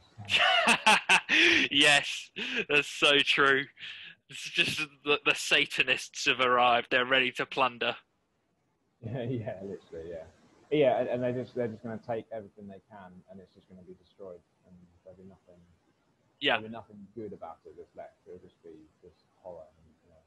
yeah. No, it, it does 100%. And uh, the, the horrible beheaded men we see later on in the, the film being thrown at the walls of, of Minas Tirith represent that, I think, in, in many Yeah. shape or form. Um, and I think I'm, no, I'm not missing anything yet. But uh, Denethor, I've got, yeah, Denethor misjudges Faramir in the sense that he thinks that Faramir's basically, that was a massive defeat and that he shouldn't have lost it so easily. But the truth is, is that that was going to happen because Os- Osgiliath is overrun with thousands and Yeah. thousands of orcs. That's Yeah. just mad. Um, but we start to see Denethor's like madness sort of really start to, to creep in here. Mm. Um, and then we cut again to the climbing of the stair. I don't Just really have a lot that. written here. Ju- Just, uh, just back on that. Yeah, um, yeah, yeah. Denethor is, is he's, he's chastising Faramir for saving loads of people. Yeah, I know. It's madness, isn't it? Lost, right? Yeah. Um, but I, I like. So he says, uh, Denethor tries to. Well, I don't know if he tries, but he, he sort of insults Faramir by saying, uh, "Ever you wish to appear lordly like the kings of old," which I really liked because he does have a, an air of you know of, uh, kingship about him, I suppose. Um, and there, there's a little passage in the in the, the book that um, Pippin thinks when he, he's looking at Faramir and he's hearing him speak. So I'll, I'll just read it very quickly. Yeah. So thi- this is the impression that Pippin has of Faramir. Here was one with an air of high nobility, such as Aragorn at times revealed, less high perhaps, yet also less incalculable and remote. One of the kings of men, born into a later time, but touched with the wisdom and sadness of the Eldar race. He knew now why Beregond spoke his name of love. He was a captain that men would follow, and that he would follow even under the shadow of the black wings. Um, and so it's like the men that Faramir is in, in command of, they look to him like he is Boromir, like he is, he is every bit a man, every bit a great man that Boromir was. Mm. So yeah, I, I thought that was quite good. It is. and it, it, it's hard to get that across to the viewer, isn't it? That Faramir is, is the man that Boromir was, and, and, and Mm. that his father just can't see it. But I Yeah. don't know if it's this scene or a scene later on in the film where we see um, Denethor mistakenly see Boromir come back in like a shadowy form behind Faramir, and it's like, Yeah, my is it, son, he's uh, come back. I think I think that that's the the next scene. Actually. Yeah, Because there's the because there's another one where you got to get the, the betrayal of Smeagol. that's it. Yes. Oh, Yeah, yeah, yeah. Smeagol, isn't it? Yeah. And it's it's like uh, Faramir and the Suicide Squad. I've got written down here. Yeah, so so we'll get to that in just a second. Yeah. Uh, Um, but I, I love that you've uh, talked about how he's uh, by his men. Like it's it's not just like Gandalf and Pippin aren't the only ones who see Faramir as this strong character. It's us, the viewer, and then also we have in the book we've also got his men showing that he they understand him as the leader, basically. yeah, Captain. Yeah. Um, but for, for the next bits, I don't have a lot written down for the climbing of the stair and Faramir and Pippin talking. So if you've got anything that, that, that you've. Uh, Yeah, yeah a, a, a little bit. So Smeagol throws away the Elvish bread. Um, I, I do have something for that. Smeagol plays a good game of misinformation and fake news. Donald Trump. eh? this, this video is going to be flagged now. it is. It's just, it's just going to do- be taken down. be shadow. Um, yeah, so, so uh, the, the way the way I kind of picture lembas bread is it's like um, there, there's a line in the Lord's Prayer which is "Give us this day our daily bread." Yeah. Um, and there's also another line in the Gospel of Thomas which is uh, "Man does not live by bread alone." And so there's, there's a bit of a dichotomy there. And I think what what it means or what it, it means in the Lord's Prayer, um, it's spiritual bread is is sustenance Mm. um, it isn't necessarily physical sustenance is all you need to live a life, if that makes sense. Um, and the, the lembas bread is like continuous daily reminder of uh, you know, the divine divinity and the beauty of, of life, so to speak. But obviously, the hobbits are basically sneaking into hell. Um, and so they, they can't see, there, there is no beauty in front of them. There's nothing that looks nice in front of them. So they, they like, it's easy to forget that, that, that there is real beauty. And so the bread is like the connection to what there is. But then Smeagol throws it all away. Uh, does. And then it's, and then it's like, it's a, it's a full, it's like a hammer blow um, that like they the hobbits are in hell itself, and there's no like, there's, there's no good, there's no light in there. Um, so I, I found it quite interesting because it's quite clever with Smeagol because all he does is just sow the seeds, and then it's Frodo and Sam that, that where the real damage is done. What happens is Sam says the bread's gone, blah blah blah, and then says he must have taken it, and it's like he he cast the first stone almost, and Smeagol doesn't he doesn't even acknowledge that Sam is even there. He just looks straight at Frodo and he says, "I don't eat it," and Frodo's like, "Yeah, you don't eat it," and it's like the truth. Like he doesn't explicitly say he didn't throw it away, um, but at the same time, he's like, it's still manipulative. It's like Yeah, yeah, yeah, yeah, yeah, exactly. Um, and then and then and then he tells the lie and says, "I've seen him. He's always stuffing his face when Nancy isn't watching." And it's like like that. That's the that, that's pure. Not pure only have you called him a filthy fat hobbit, you've also just like sown his fate just by telling him that. Yeah. and and like you turn two two best friends against each other, basically. Yes. Um, and so yeah, so then Sam um, is banished es- effectively, um, and he is Sam is like truly in hell then because obviously Yeah. Fro- Frodo is kind of Sam's ideal as well because he really Yeah, yeah. highly of him. Um, and so like your your ideal has said to you that you're not good enough and you need to leave. That would hurt a lot. It would. Um, yeah. Obviously, it doesn't happen in the in the book, um, but I do like I do like the way it was done in film. I, think- I thought it was quite clever. It's certainly later on, obviously, when Sam realizes the, the treachery and climbs back up the stair, it kind of speaks to Sam's character um, that he was willing to forgive Frodo, um, regardless of the of what actually happened. Because yeah, I, I think it true heroism, there would be an, an element of forgiveness in there. Um, There's a theme there, isn't there, in the sense that we see in this film is that forgiveness is part of being a hero. It's re- really important. I think that's something that very few films sort of highlight is that sometimes you do have to forgive and move on to be able to become the hero of the story. yeah, definitely, definitely. Yeah. So yeah, so then we're we're back Uh, in Gondor, aren't we? Yeah, yeah, yeah. So that that to me is uh, you've you've basically got a lot more written down there for for that part of uh, the scene because I didn't have a lot. I just had written down, uh, yeah, Gollum just spreading a load of fake news. Um, but yeah, Mo- moving on to Faramir and the Suicide Squad. Um, so before, so before we see him talking to Denethor. no, he talks to Pippin, doesn't he? Yeah, Pippin, yeah, yeah. yeah. and, it, and like you see in his you know new uniform and stuff, and Pippin is sort of realizing the weight of his responsibility and so on and so forth.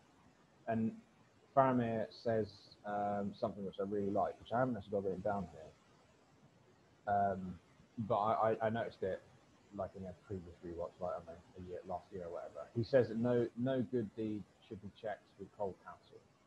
Ooh, and there's a bit of foreshadowing because if you remember when Pippin comes down to grab Gandalf, Mm. um, because Denethor sent him out to fight, yes, and Gandalf says this is no place for a hobbit, and then he saves his life, and then Pippin saves Gandalf.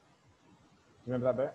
yeah, Um, Gandalf then says, "Guard of the citadel, indeed." Like he's giving him warm. he does. Yes, yes, Um, he does. Yeah. And it's like it's it's it's not cold counsel. It's it's it's a good deed, and it's checked with with warm counsel. I yeah, yeah. Well, that's because Gandalf's an actually nice person. If it was Denethor, there, he'd have been like, "You should have done that anyway." Like Yeah, you're exactly. part yeah. part of my uh, yeah that's that's very interesting that and it makes a lot of sense doesn't it with uh, Faramir and you know he would do good acts but the cold counsel would come from his father Exactly. Yeah, and and he and it's like he he has the he has these ideas of nobility and what what nobility should be. He he can't separate. I, I don't know I don't know how highly he thinks of his dad, um, but I, I think he thinks quite highly of him. And it's only when he says in the next, next scene that uh, you wish now that I had gone or that I had died and Boromir had lived. And it's like he, he suddenly realizes that his dad is not a, a decent person at all. He's like, he is, he is a total prick. and he eats like a pig in this scene yeah, he does. Yeah, yeah, he's he's yeah. Well, We're not going to get into that. That's a whole different podcast altogether. How to eat properly. Um, riding out to certain death is more courageous than any battle yet. That's what I've got to render. I think that what Faramir does here is not only solidify who he is as a character in this film, he also solidifies what we should all strive to be in the sense that even if he is striving towards certain defeat, he strives in a way that shows others around him the, the true courage to be able to do so, and that it's Yeah, a choice. like- doing it properly as well, not mm. not doing it, not shooting. Or, you know. I, I like that he obviously um, Boromir. We obviously know Boromir held the city of Gondor in, in high regard, uh, and Faramir. You can tell Faramir does as well because when Gandalf is pleading with him to, to not go, uh, that you know, your father's will turned to madness. He says, "This is the city of the men of Numenor." Um, I, I would gladly give my life her beauty. Yes. So it, it's a it's a beautiful sentiment. The It city is. Of, the city of the men of Numenor. It's like it's it's there's splendor and grandeur in that. and and that scene alone, what you're describing, that where they're walking through the city and flowers are being given to that that sort of resonates with what you're saying as well, because it is this beauty, this love for the their soldiers. They truly care, the citizens, uh, about what happens to them. Um, it's very, in, in, you know, And, it, and it's uh, and it's obviously everything that the the uh, city represents. It's the, the kingdom of the dominion of man. yeah, Um, I've got it written down. So Faramir is the good prince that would regenerate the kingdom, um, but due to the old king being blind, the, the old king being Denethor, uh, due to the old king being blind and old, it's going to fall to ruin. Um, and so that's why people are like laying out flowers as the soldiers go down because they know they're all going to die. Um, but it's like they've got because it's like their, their duty almost. They have to do it. Mm, Um, so, you imagine though the the kind of man going back to what Pippin thought about Faramir earlier.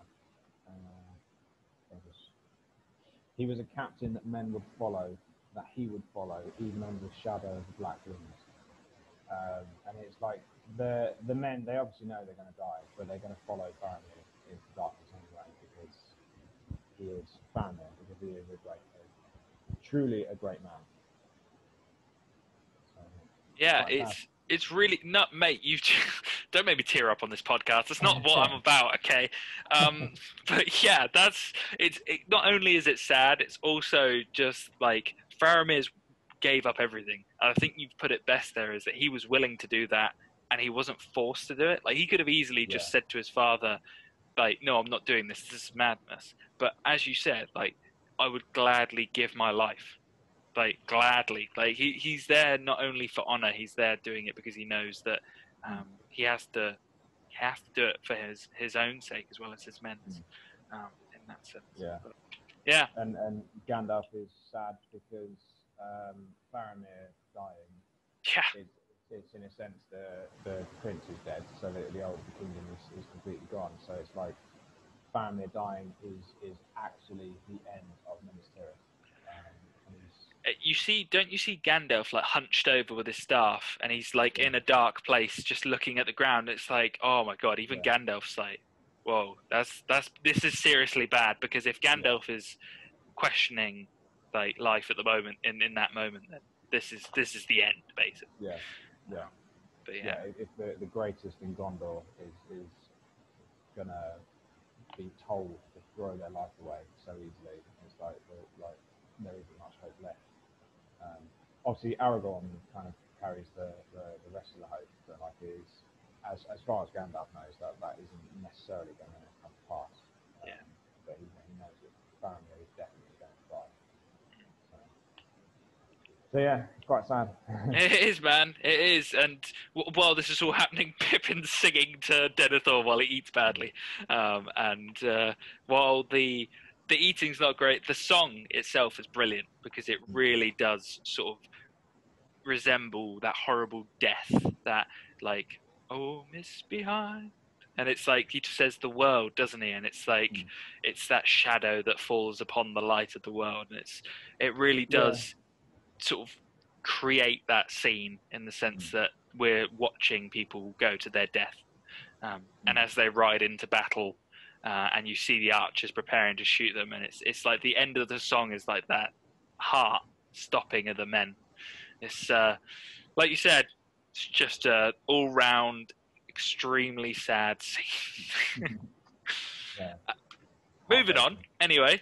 Uh, I've got quite a lot written for the next two sections. You'll be happy to know that the next two sections are Rohan, Rohan Gathering and the Dimholt Road. So they're quite both very significant in this part of the film. They are near the end, but they have a lot to say. And with Rohan gathering in the mountains, I'm not sure where specifically. I don't know if you did, you, you know. There, there is. It, it does actually have a name, and it is like the gathering place for Mm. the Rohirrim. Um, but I, yeah, I can't remember what it's called now. Yeah, it's it's not a big deal, but the uh, um, I I remember Th- Theoden saying within like the first scene, he was like, uh, "Where are the snowborns? They didn't come, my king." And I was like, "Damn snowborns! Like you had one job." Um, but 6,000, 6,000 against what was it like? Even Saruman was able to muster ten thousand, wasn't he? Mm. Ten thousand Uruk-hai, and you realise that the Rohirrim are are only able to muster six thousand. Um, It, well, and it says it's, it's less than half of what you would hope for. yeah, I, I, I saw a, just to change the tone a little bit. I saw a meme recently, uh, which was it was basically uh, Theoden and Aragorn looking out, and he says six thousand spears. That's less than half of what I hoped for. And then Aragorn says, "I found these two spears." and, then, and, then he, and then he says, and then Theoden says six thousand and two spears. That's more, than, more than half of what I was hoping for. but anyway, that's not. I just thought it was one of those silly little jokes. I thought it was quite funny. oh, you're bringing the dad jokes to this podcast. That's exactly the sort of humour we want here. That's exactly it. Oh dear, um, so they- bad. Oh the, dear. the, the location they're in, it's like they're because they're obviously gearing up and ready for war. They're ready for battle. They're they're, they're standing. All, all the men are in like the, the field below, and the king and the king's company are standing where they should be, which is like right on the line um, between the the chaos of the underworld and they're sort of the, the barrier between the underworld and the rest of the men. Because obviously you have the Dimholt Road and the Path Yes. of the Dead and so on Yeah. forth. So, Yeah, they've got the shadow of the mountain over them. They've got that. Like you've you've put it best. It's a barrier, isn't it, between the, the, the living and the dead. yeah. and it's it's the dawn of Aragorn's fate, isn't it? It is this sort of piece in the movie where we're seeing that, that, that there's lots of different routes people are taking throughout this film. There's lots of different characters taking different roads, um, and the Dimholt Road is the one that Aragorn has to take down. Um, Yeah. And he, and he catches it before he knows he has to go down there. Um, he catches a glimpse into it and he also sees the sort of shadow king. And yeah, it's like he sees a glimpse of his deeper self, uh, of his deeper self and his deeper shadow. Um, and so it's, it's another moment when his psyche is put into turmoil again. And then obviously later on, or the very next scene, I think, he has a dream about Arwen again. yes, And so it's like his, his looking at looking at his shadow, um, and psyche, his, his psyche explodes with I don't know what to do, and then an animal figure appears and gives him in some sense a direction. and it is it. Uh, I do like that you've p- pointed that out because Arwen's death is like a. It's quite relevant to the fact that he's next to like the place where these traitors go for for death, and it's this Yeah. underworld, and this. she- He's he's dreaming, and he pulls out his knife, doesn't he? It's like it was so real Yeah, that he Yeah. he was about to attack somebody out of it. Um, the guy who comes into the tent was so chill. He was just like, "I've seen this before, like people pulling out knives on other people." Uh, but yeah, we, we've one thing that one scene I found kind of interesting is that Eomer says to to Eowyn, "War is the province of men," um, and it's it was intri- intriguing to me because in this film, it's actually not men who who fight the biggest battles. It seems they fight the the wars, but they don't fight the biggest battles in the sense of Mm. what wins the overall war. And Yeah, so true. it's it, it was intriguing to see that although is really wise character in, in these films, and he, he he's normally the person who sees through the, the, the lies of like Grima Wormtongue, or he sees that he can, you know, support his king, so on and so forth. It, it was kind of you know typical uh, sort of shallow statement to make that war is the province of men. But he's also Mm. trying to save his, his sister from seeing the darkest part of, of the world, Yeah. basically. So you understand where he's coming from. Oh, absolutely, absolutely. Because it would be it would be uh, horrible to have to ride into battle. Like you ima- imagine certainly like I mean it'd be bad enough with guns now. Um, you know, like like World War One and Two would have been bad enough. But like you had to you had to come into physical contact with another man who's trying to kill you with you know a piece of metal, trying to trying to hack you to pieces. It'd be absolutely terrifying. Yeah. Um, because it wouldn't it wouldn't take much for you to die. Yes. Uh, or no, no, sorry, it wouldn't take much for you to be completely incapacitated. You might have died for a little while, so you might get, you know, you might be slashed in the leg and have all of the, the meat of your quad cut through, and then you just fall down, but you're not dead, like you're just in agony. Until no more squats for you. No, exactly. No more running, no more walking, no more, no nothing. Like it would be, it would be absolutely, it would be absolutely terrifying. It's true. No, I, I'll make a joke out of it, but it is the most. That part of war is is worse than what I see with like with guns. At least if you get shot in the head, you get shot in the head, you die, sort of thing. Yeah.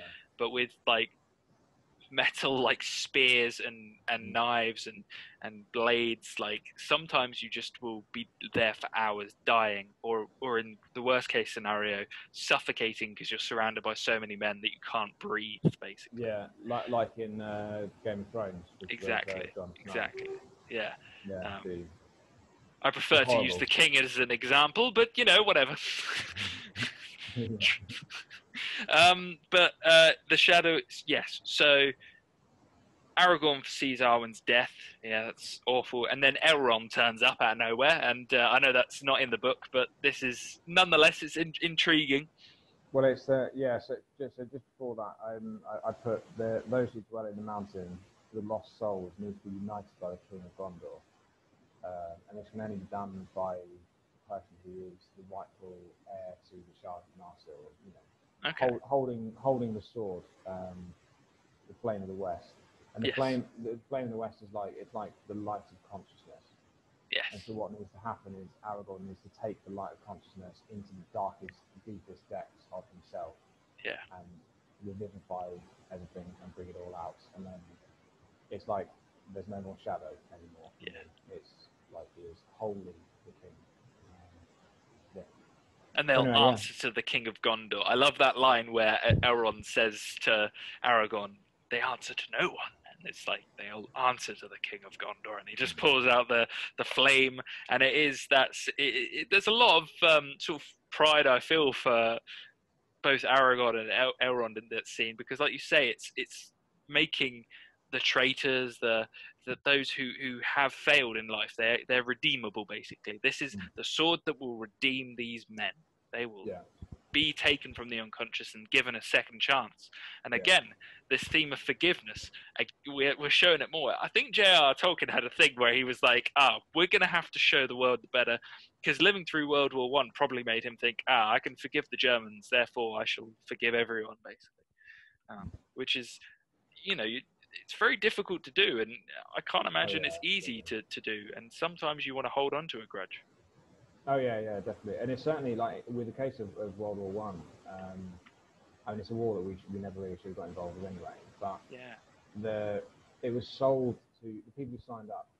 You know, like everyone over the age of 14 basically went off to war, uh, and they were basically sold on the idea that the Germans were, you know, putting babies on bayonets and using them to fight and stuff, and like they were just horrible people, and like, and and they got there and they realized they actually weren't.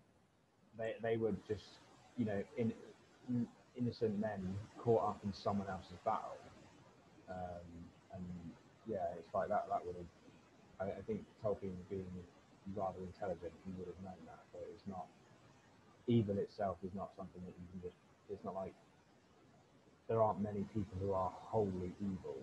Mm. Most people are made up of you know good and bad, and you have to forgive the bad parts because they're also in you in a sense. Um, Exactly. Yeah, that's yeah. Uh, I think it's almost like um, Elrond's giving hope, hope Mm. to men, and we've talked about forgiveness, and and again, World War One, World War Two, there was not a lot of hope in those wars. Um, and and you've got to think like with World War One, two, as you've highlighted, the opposite side were made to look, you know, by using sort of propaganda and so like that, that like, like they were beyond evil. They were, you know, unredeemable. But in Lord of the Rings, we're physically dealing with unredeemable beings in like orcs yeah. and sort of Sauron. They are literally pure beings of of, of evil uh, who have been corrupted and, and cannot come back from that. So it is really intriguing to sort of see that this is like so far right that we we're never going to see this ever again. Um, but it's intriguing to see that uh, Elrond was willing to basically say, right, even though I know that this is the end for all of you, here's the the last hope that I'm going to give you. Hmm. Yeah, yeah, definitely. And it's like it's the I don't know. Maybe, maybe it's like the, a reminder of the, the light of consciousness or, or something like that. Was the, it's very true. Yeah, the light of consciousness. Yeah. I, so, so I, I wrote on the sword of Elendil um, in, with regard to Aragorn. He needs to become fully conscious in order to become a full man. And the only way to do this is to go down into the underworld and, and assimilate the darkness without succumbing to it. This includes recognizing and perhaps forgiving the cowardice and dishonor of other men. Um, and if you remember in the first film, Aragorn says that he has the same weakness. Um, yes. Of the silver, the same blood runs in my veins, he says. And Arwen says to him, "You will face the same evil and you will defeat it." Um, and I think it's like that. The, the dream he had is like another one of those moments. It's like you actually are the best man that there is like in the world, so to speak. And that's why I'm willing to give up my immortality for you. I'm willing to, and but you have to recognise that as well. And, and I, I think that maybe not maybe not when he's given the sword, or maybe not when he goes in. I think it's probably when he comes out of the path of the dead, and the king says, "We fight." That he then realizes, "Okay, I'm actually the king now." Yes. Um, but yeah, although they, they don't make a big a big moment of that. No, they don't. But I think that's good. You don't need to. There was there's this sort of like Aragorn was always meant to be the king, and he was always meant to redeem him, like not redeem, but achieve this rank and achieve this ability. Uh, he yeah. just needed to walk that road. He just mm. needed to follow that line. Um, which is very difficult to do. It's not like he's like going into some Candyland like cloudy sort of like s- sweets and lollipops sort of land. He's going into the dead. He's going into somewhere like that is just horrible. Um, but I do love that uh, uh, Gimli and uh, Legolas, you know, add some humor to the scene where they're just like, "Have you not learnt anything of the stubbornness of dwarfs?" And they, they come along anyway, even though they know they're going into a place where they probably could die, basically. Mm. Um, and well, I, I, had a I had a thought on this. I, I forget. Um, we mentioned it earlier on. Um, yes. It was like you were talking about um, uh, the emotions of, of, of complete man and so on and so forth. I actually think that Aragorn, the King Aragorn, is such a complex character that he wasn't, you couldn't really show him in one man. Uh, ah. so I, think, I think his character is actually the three hunters. It's Gimli, Legolas, and Aragorn. And so the, I, I, could be totally wrong here, um, but what I what I kind of see, at least in the films, is that Legolas is like the the sort of the lover archetype. Um, yes. And he sort of he sort of it's a man that is you know he likes poetry and flowers and nature and he can see the beauty and blah blah blah blah blah. And Gimli is like the warrior. He's like this the hard, tough, you know, basically lives underground. Like he loves a good fight, likes beer. um, and then Aragorn at the moment is like he's like the magician archetype. He's like the professional. He's trying to assimilate the, the pieces of his being, um, and he's trying to do it through speech and through fighting and blah blah blah. And that the three of them entering the path of the dead with holding the sword, uh, you know, the light of consciousness. It's like he had to be all of those things to then become the king. Yes. Um, if, if you, yeah That's brilliant, mate. That's a really good way of that because it makes sense. Because you're right, you can't have one character who embodies all parts of this sort of personality, um, and that each of them, as you pointed out, are so in depth. You can't like have one person who has every single piece of that. I think that you've pointed out Legolas really is. He's part. He he's like the woodland elves. They're part of nature. It's almost like they're going to fall back and fall asleep into the into the wood that they are born into, and so it's, it's this sort of connection. And like you say, like you know, Gimli and Aragorn speak for themselves and who they are as as, as both mm. warriors and, and magicians. Because there's a lot of times when Aragorn is sort of he contemplates, doesn't he? He doesn't just fight or speak. He speaks when he needs to speak, and he speaks when he thinks it's important. And um, yeah, and then when when he does speak, what he says is is meaningful. exactly. Yeah. So I tell you what, that's something that I constantly, truly try to to to move forward to is meaning, and I- I'm hoping that these podcasts uh, are trying to show that is that we are looking for meaning in, in things that we that we want to see. Um, nonetheless, um, I do like the next the, the scene that this is. So before Aragorn and Gimli and Legolas head into the Dimholt Road, you've got the Rohirrim gathered together basically, and as they're going away, they see they say, "Oh, they're going because it's hopeless because there's like it's all over that we're all going to die." And Theoden comes in, he says, "Yes, it is hopeless, but we will fight nonetheless." And it's just like, yeah, it's like yeah, like I don't know how to express it any other way. Like it's, it's just It's- like It's like uh, in, in the film 300, I, th- I think I mentioned this in a, in a previous one. Um, the, the Spartans are looking out onto this field of like a million soldiers that are all going to stampede towards it. Um, and one of them says that I hope that out there there is a warrior that is great, that is great enough to give me a glorious death. And it's like to, to die in battle. Um, I think I, I'm, I, I maybe should look into this actually in, in terms of like the in, in the book in, in the books um, or like the appendices or whatever of the history of, of, of Rohan. Um, but it could be that they're the way they get to uh, the halls of the afterlife of their, their ancestors is by dying in battle. Um, and there's a lot of societies, I think especially the Viking societies, uh, they believe that to die in battle gave them kind of the right to get to the afterlife. Hmm. Um, and so I think that's what Theoden's kind of hoping for. Um, but, yeah. Something like that. Yeah, I- but I- it, it does resemble that Viking-esque sort of lifestyle, doesn't it? The Rohirrim, especially, Mm. um, you know, they live on their horses. They they don't have they live in wooden houses. They don't live in glorious places like the the Gondorians. So it's it's, it's a very Viking sort of scenario. So I totally get that. yeah, so.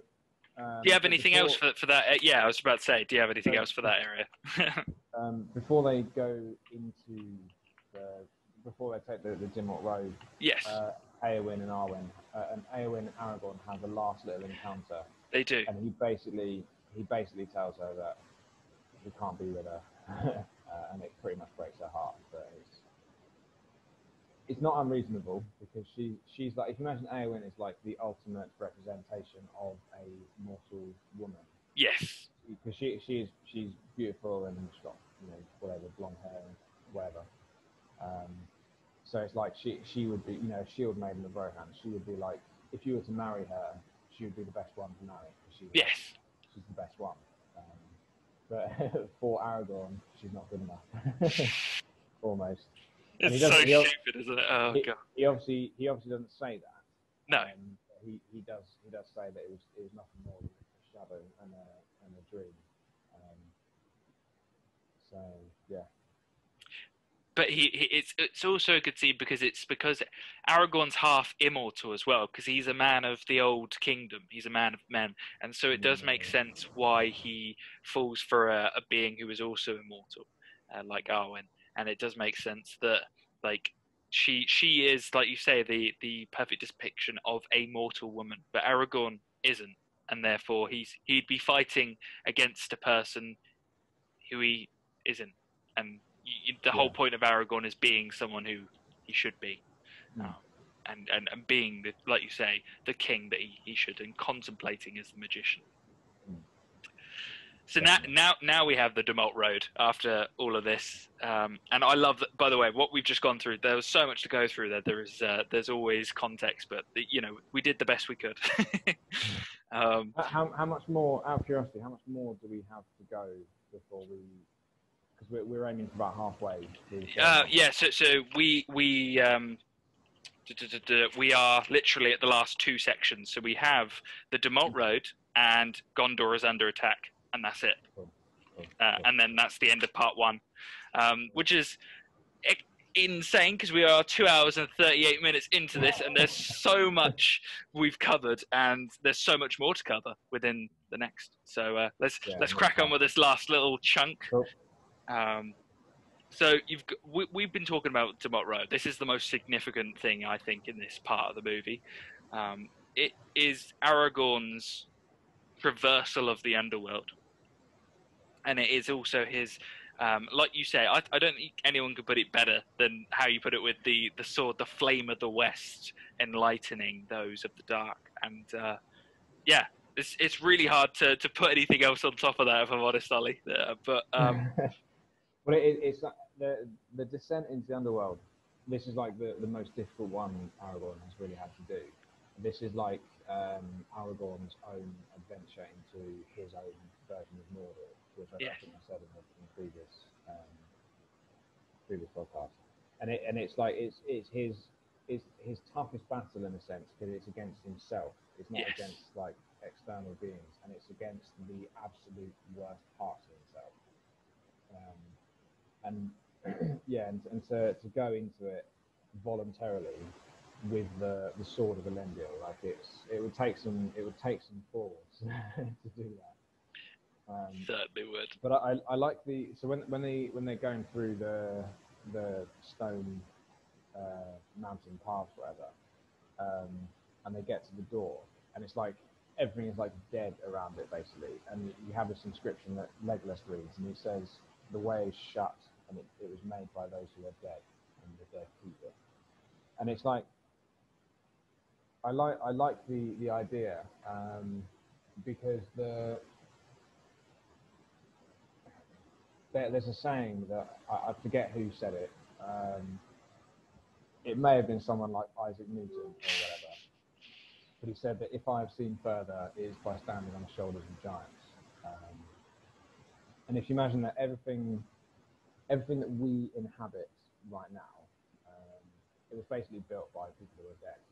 Um, and so Jordan Peterson says it's something like we we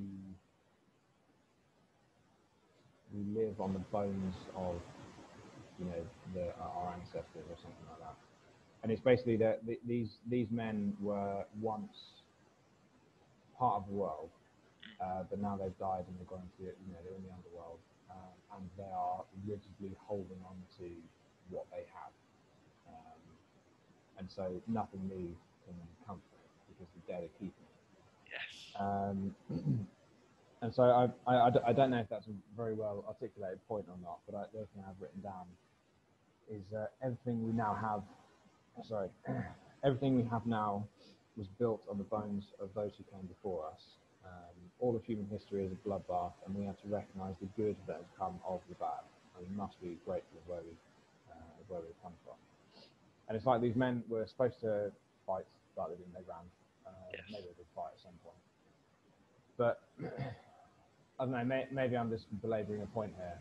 Um, No, it's Yeah. important to say, mate, because the from from what you're saying as well, it's uh, these guys held on to the world, the the treasures, the the things that don't really mean anything. It's almost like we're going Yeah. back to that um, Egyptian way where the the pharaohs got buried with all of their gold and their silver.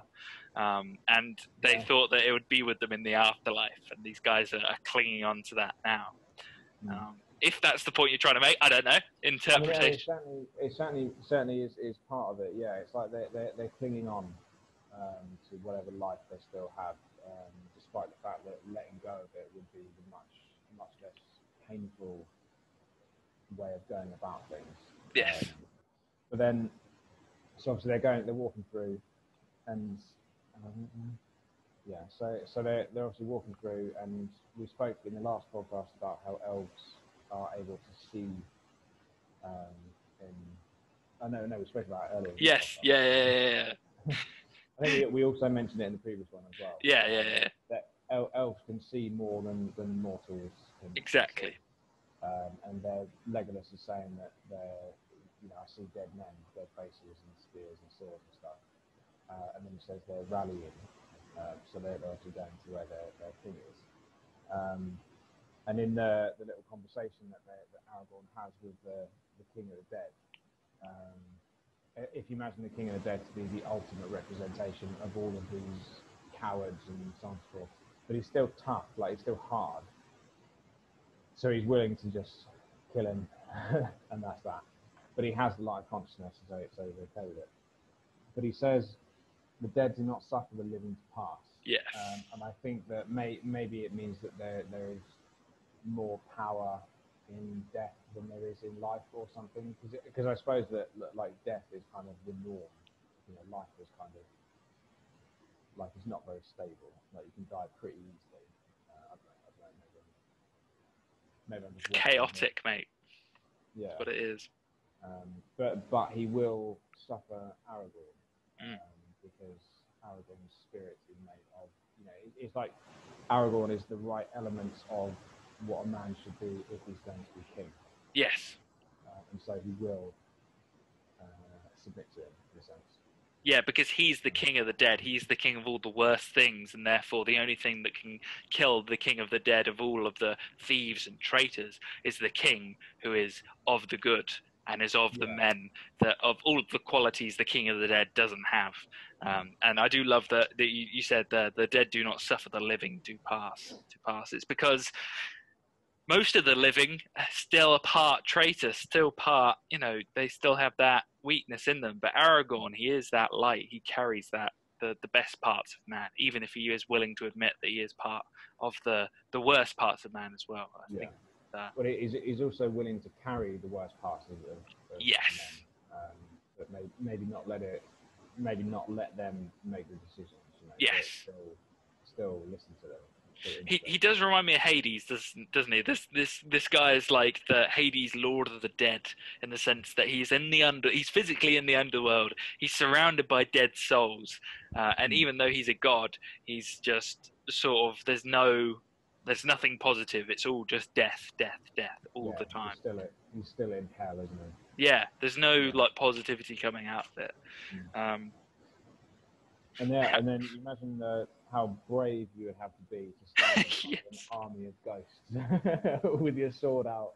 So like you're you're almost challenging them. It's like like like do, does anyone actually want it? And then you look at the king and it's like, do you want it? And then the king like they they, they are actually willing to fight, but the king would just lose. it's Yeah, like, it's yeah. crazy because He's It takes some just like- bravery.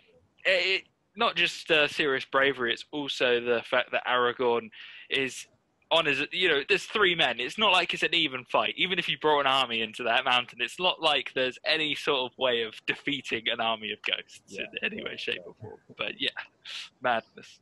Um, and he does, like, Aragorn's offering hope to souls who've been damned for so long that they probably look at Aragorn and think, well, you know, you're lying, or there's no way that you could provide us with this hope that you're talking about. Um, it's uh, it's really interesting because in the extended edition you see that they have to escape the cave, don't they? They have to like like all of the place is crumbling because of the skulls Yeah. So I, I, I thought about that. I think it, it crumbles around them in a sense because the energy that was holding the place together was the hatred, or, or maybe not hatred. It was, but it was the spirits of the dead, Yeah, right? And now they have accepted that they can leave. Uh, the the place is just going to crumble because there's nothing. There's no more strength keeping it up because there there is there was obviously strength in them Mm. uh, and in whatever whatever personality traits they were kind of representing, there was a lot of strength there. But when they physically left the place, the the strength went, and it was because it was carried with Aragorn, then, I suppose. So then he, he had to get out, had to escape.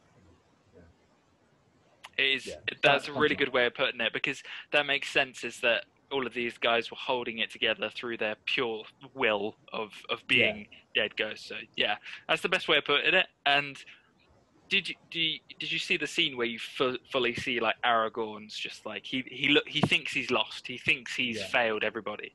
And it's like Viggo Mortensen's acting in the sense that like you just see this man, he just looks like he's lost everything. Um, and it's oh, I just I know there's no like you can't analyze that, but the, the just the pure ability to do that is, is impressive. Um, yeah, he's uh, uh, yeah, he's a good actor.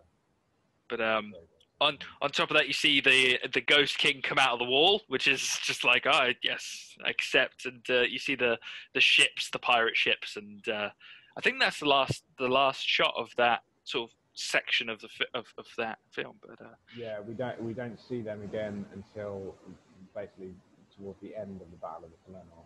yes, So, that's yeah. it. Yeah. Um, and and then we just immediately hit um, Gondor is under attack now, uh, and Faramir arrives from the brink of death, um, which is really interesting to see. This, isn't it? Like, Yeah, yeah. So, so I, I had a thought on this. So, we've obviously said numerous times that the mightiest man maybe fell by one arrow, and Boromir was killed yes, yeah, So was Faramir. he was, Faramir yeah, By by two arrows, and so that so it, it's almost like the like one extra arrow would have killed him. Like, and it, and it's just like, that one. Yeah, it- well, it, well, because it took three arrows to kill Boromir, didn't it? Yes. And so it's like it's the same. He's the same guy basically.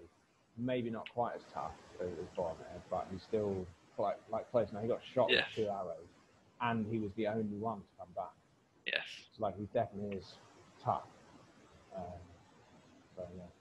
No, no, it's, it's great. No, I, I think that's really well put, and I think that I didn't even think of that genuinely. I just thought, oh, he's returned. There you go. This is sort of Yeah. great.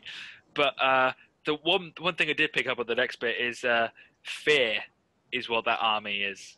Is the, the the army of the orcs like they're not just like the darkness. They they just bring fear to, to the man to mankind, and uh, where they throw the decapitated heads into the city, they bring more fear, and it's like this ability to, to scare human beings is, is also a weapon, um, because Mm. you've got like the Nazgul cry, you've got the the heads being thrown, you've got like the, the red shields with the the eye of Sauron on them. Just uh, it, it's it's interesting, just because I think that, that that plays a big factor on how the orcs have won, because they're not exactly like they're not built like men, they're not as tall as men, um, but they are sort of the the reason why they are victorious in some battles is because they have the fear on their side and they have the ability to, to mass. Yeah, definitely. It's like it's, it's savagery, isn't it? That they're able to, sort of Yeah. into. Yeah, did you um? I doubt you've seen the the film, but there was a, I want to say, very early on Joss Whedon film, uh, where it was based in space basically. Uh, I think the film was called Serenity, and within there there was these um, cannibal, uh, sort of humanoid people, and they basically all all they had to do was uh, have these ships go past and you could hear the screams of those unfortunate enough to be encountered by these cannibal people Oh, right. um, and it was this uh, idea of like these ships alone the, the the mere sight of them would make any person like nearly die from fear because it was just so because of like the shapes and the colors put on the ship as well the representations yeah sorry I, I, didn't mean to diverge into a separate Yeah, film but you know yeah. um, De- I've got written down here. Denethor offers ruin and death with his uh, famous line that uh, he shouts. I, I suppose. I mean, that's it because he's like because he, he says my line has ended. Yes, Like, the, like his his blindness and his unwillingness to do any to take any action has caused the death of his son, basically. yes, And so then he's lost all hope. And Yeah. he he he's kind of confused himself with like the spirit of the leader, you know. And so he basically, yeah, screams at his men, "Flee for your lives!" like, like it's not. I mean, even even even if you are going to die, like you don't want to die running away. no, no, exactly. And uh, you have to see the the wise magician that is Gandalf come in and say, "Prepare for battle. This is Yeah. not what you're doing for me." it's it's it's brilliant, and uh, it's it's almost like everybody all at once realizes like, ah, we probably should be fighting right now, and that our entire city is going to fall apart if we don't do something. Um, but Denethor does represent like that sort of weakness in men, where you can just like sort of give up and just say, "I don't care anymore," you know. Um, I yeah, don't know. If let, that's let it all fall to shit. And, Yes. Yeah. Um, wizard, yeah, wizard of strategy as well, because he's like organizing the men to uh, fight against these giant like towers. Um, and he's like, aim for the trolls, and I was like, ah, that's that's yeah. How is he? How does he know this? Number one. Mhm. oh wait, we saw this in the first film where he kills a troll, so that makes Oh, yeah. sense. So it Gandalf al- knows how to do it. It, it, also kind of makes sense. Like you wouldn't you wouldn't shoot a load of arrows at just a solid iron block, would you? And yet they are. something moving it. I, I, just, I, I, can't help but feel like I can't help but feel like they, they missed out on you know like a hundred First meters- year training.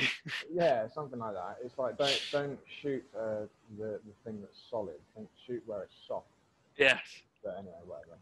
Yeah, no, no, I know what you mean, but it's, it is rather funny seeing that where they're just shooting at solid uh, rock, and uh, you've also got the scene where the uh, captain orc, that you have this giant boulder come at him, and he just spits on it, and he just steps aside. It's just so funny. This is brilliant. Um, but apart from that, I've got the wolf's head uh, heads appears. Um, I was wondering if you have anything for that section at all. Um, we, I do. I'm trying to. I'm trying to think. So we're not up to that point yet, though, are we? Is Uh, is there oh, a scene? Have I missed a scene at all? I mean, I mean, there's obviously the the catapults and Yes. you know, the, the sort of the what do you call it? The to and fro, the Yeah. fighting, because obviously Gondor has trebuchets and stuff, and then all the Nazgul fly in and destroy all the trebuchets, Yes, um, and they're just like you know spreading fear everywhere. yes. Um, what else do we have? Is is that the scene? So, in that scene, is that the one where Mer- where Pippin comes out and says they sent us out to fight, or is that before? Yeah, I think so. That's Yeah, it. it's- it's- I thought I missed I something. think it might be that he does that. He comes down to fight, saves Gandalf, and then he goes back up, and then they appear. That's Um, it. Yeah. But, yeah. Uh, yeah, I'm trying to think of the, the order of events because I know that. So they, they obviously can't breach the the. Yeah, that's Yeah. rather funny because they're like they're piling up, aren't they? There's like quite a lot of orcs. Like you're like, whoa, they're, like this is an effective. Yeah, this is an effective front door. My goodness. Yeah, yeah. But I love it that the I- I think the captain's name is Gothmog. Okay, Um, cool. Also the name of a, of a Balrog, but we'll, we'll get that. But he says, um, like, what are you doing, you useless scum? and it's like, mate, they're doing their best. It's like it won't go down. It's just like yeah, we can't, nothing will breach it. yeah. And, yeah, and obviously they look, they look to Grond, the hammer of the underworld. Oh, I, I love the sort of chanting that goes on within that. It just brings out something very like archaic in me where I'm just like, oh, oh, oh, oh. but yeah, it's, it's, um, oh. it's an interesting. I, I- like the motif where it's basically wolf's head, Yes. Uh, like it's on fire and it's massive and it like it's being pushed by trolls and stuff.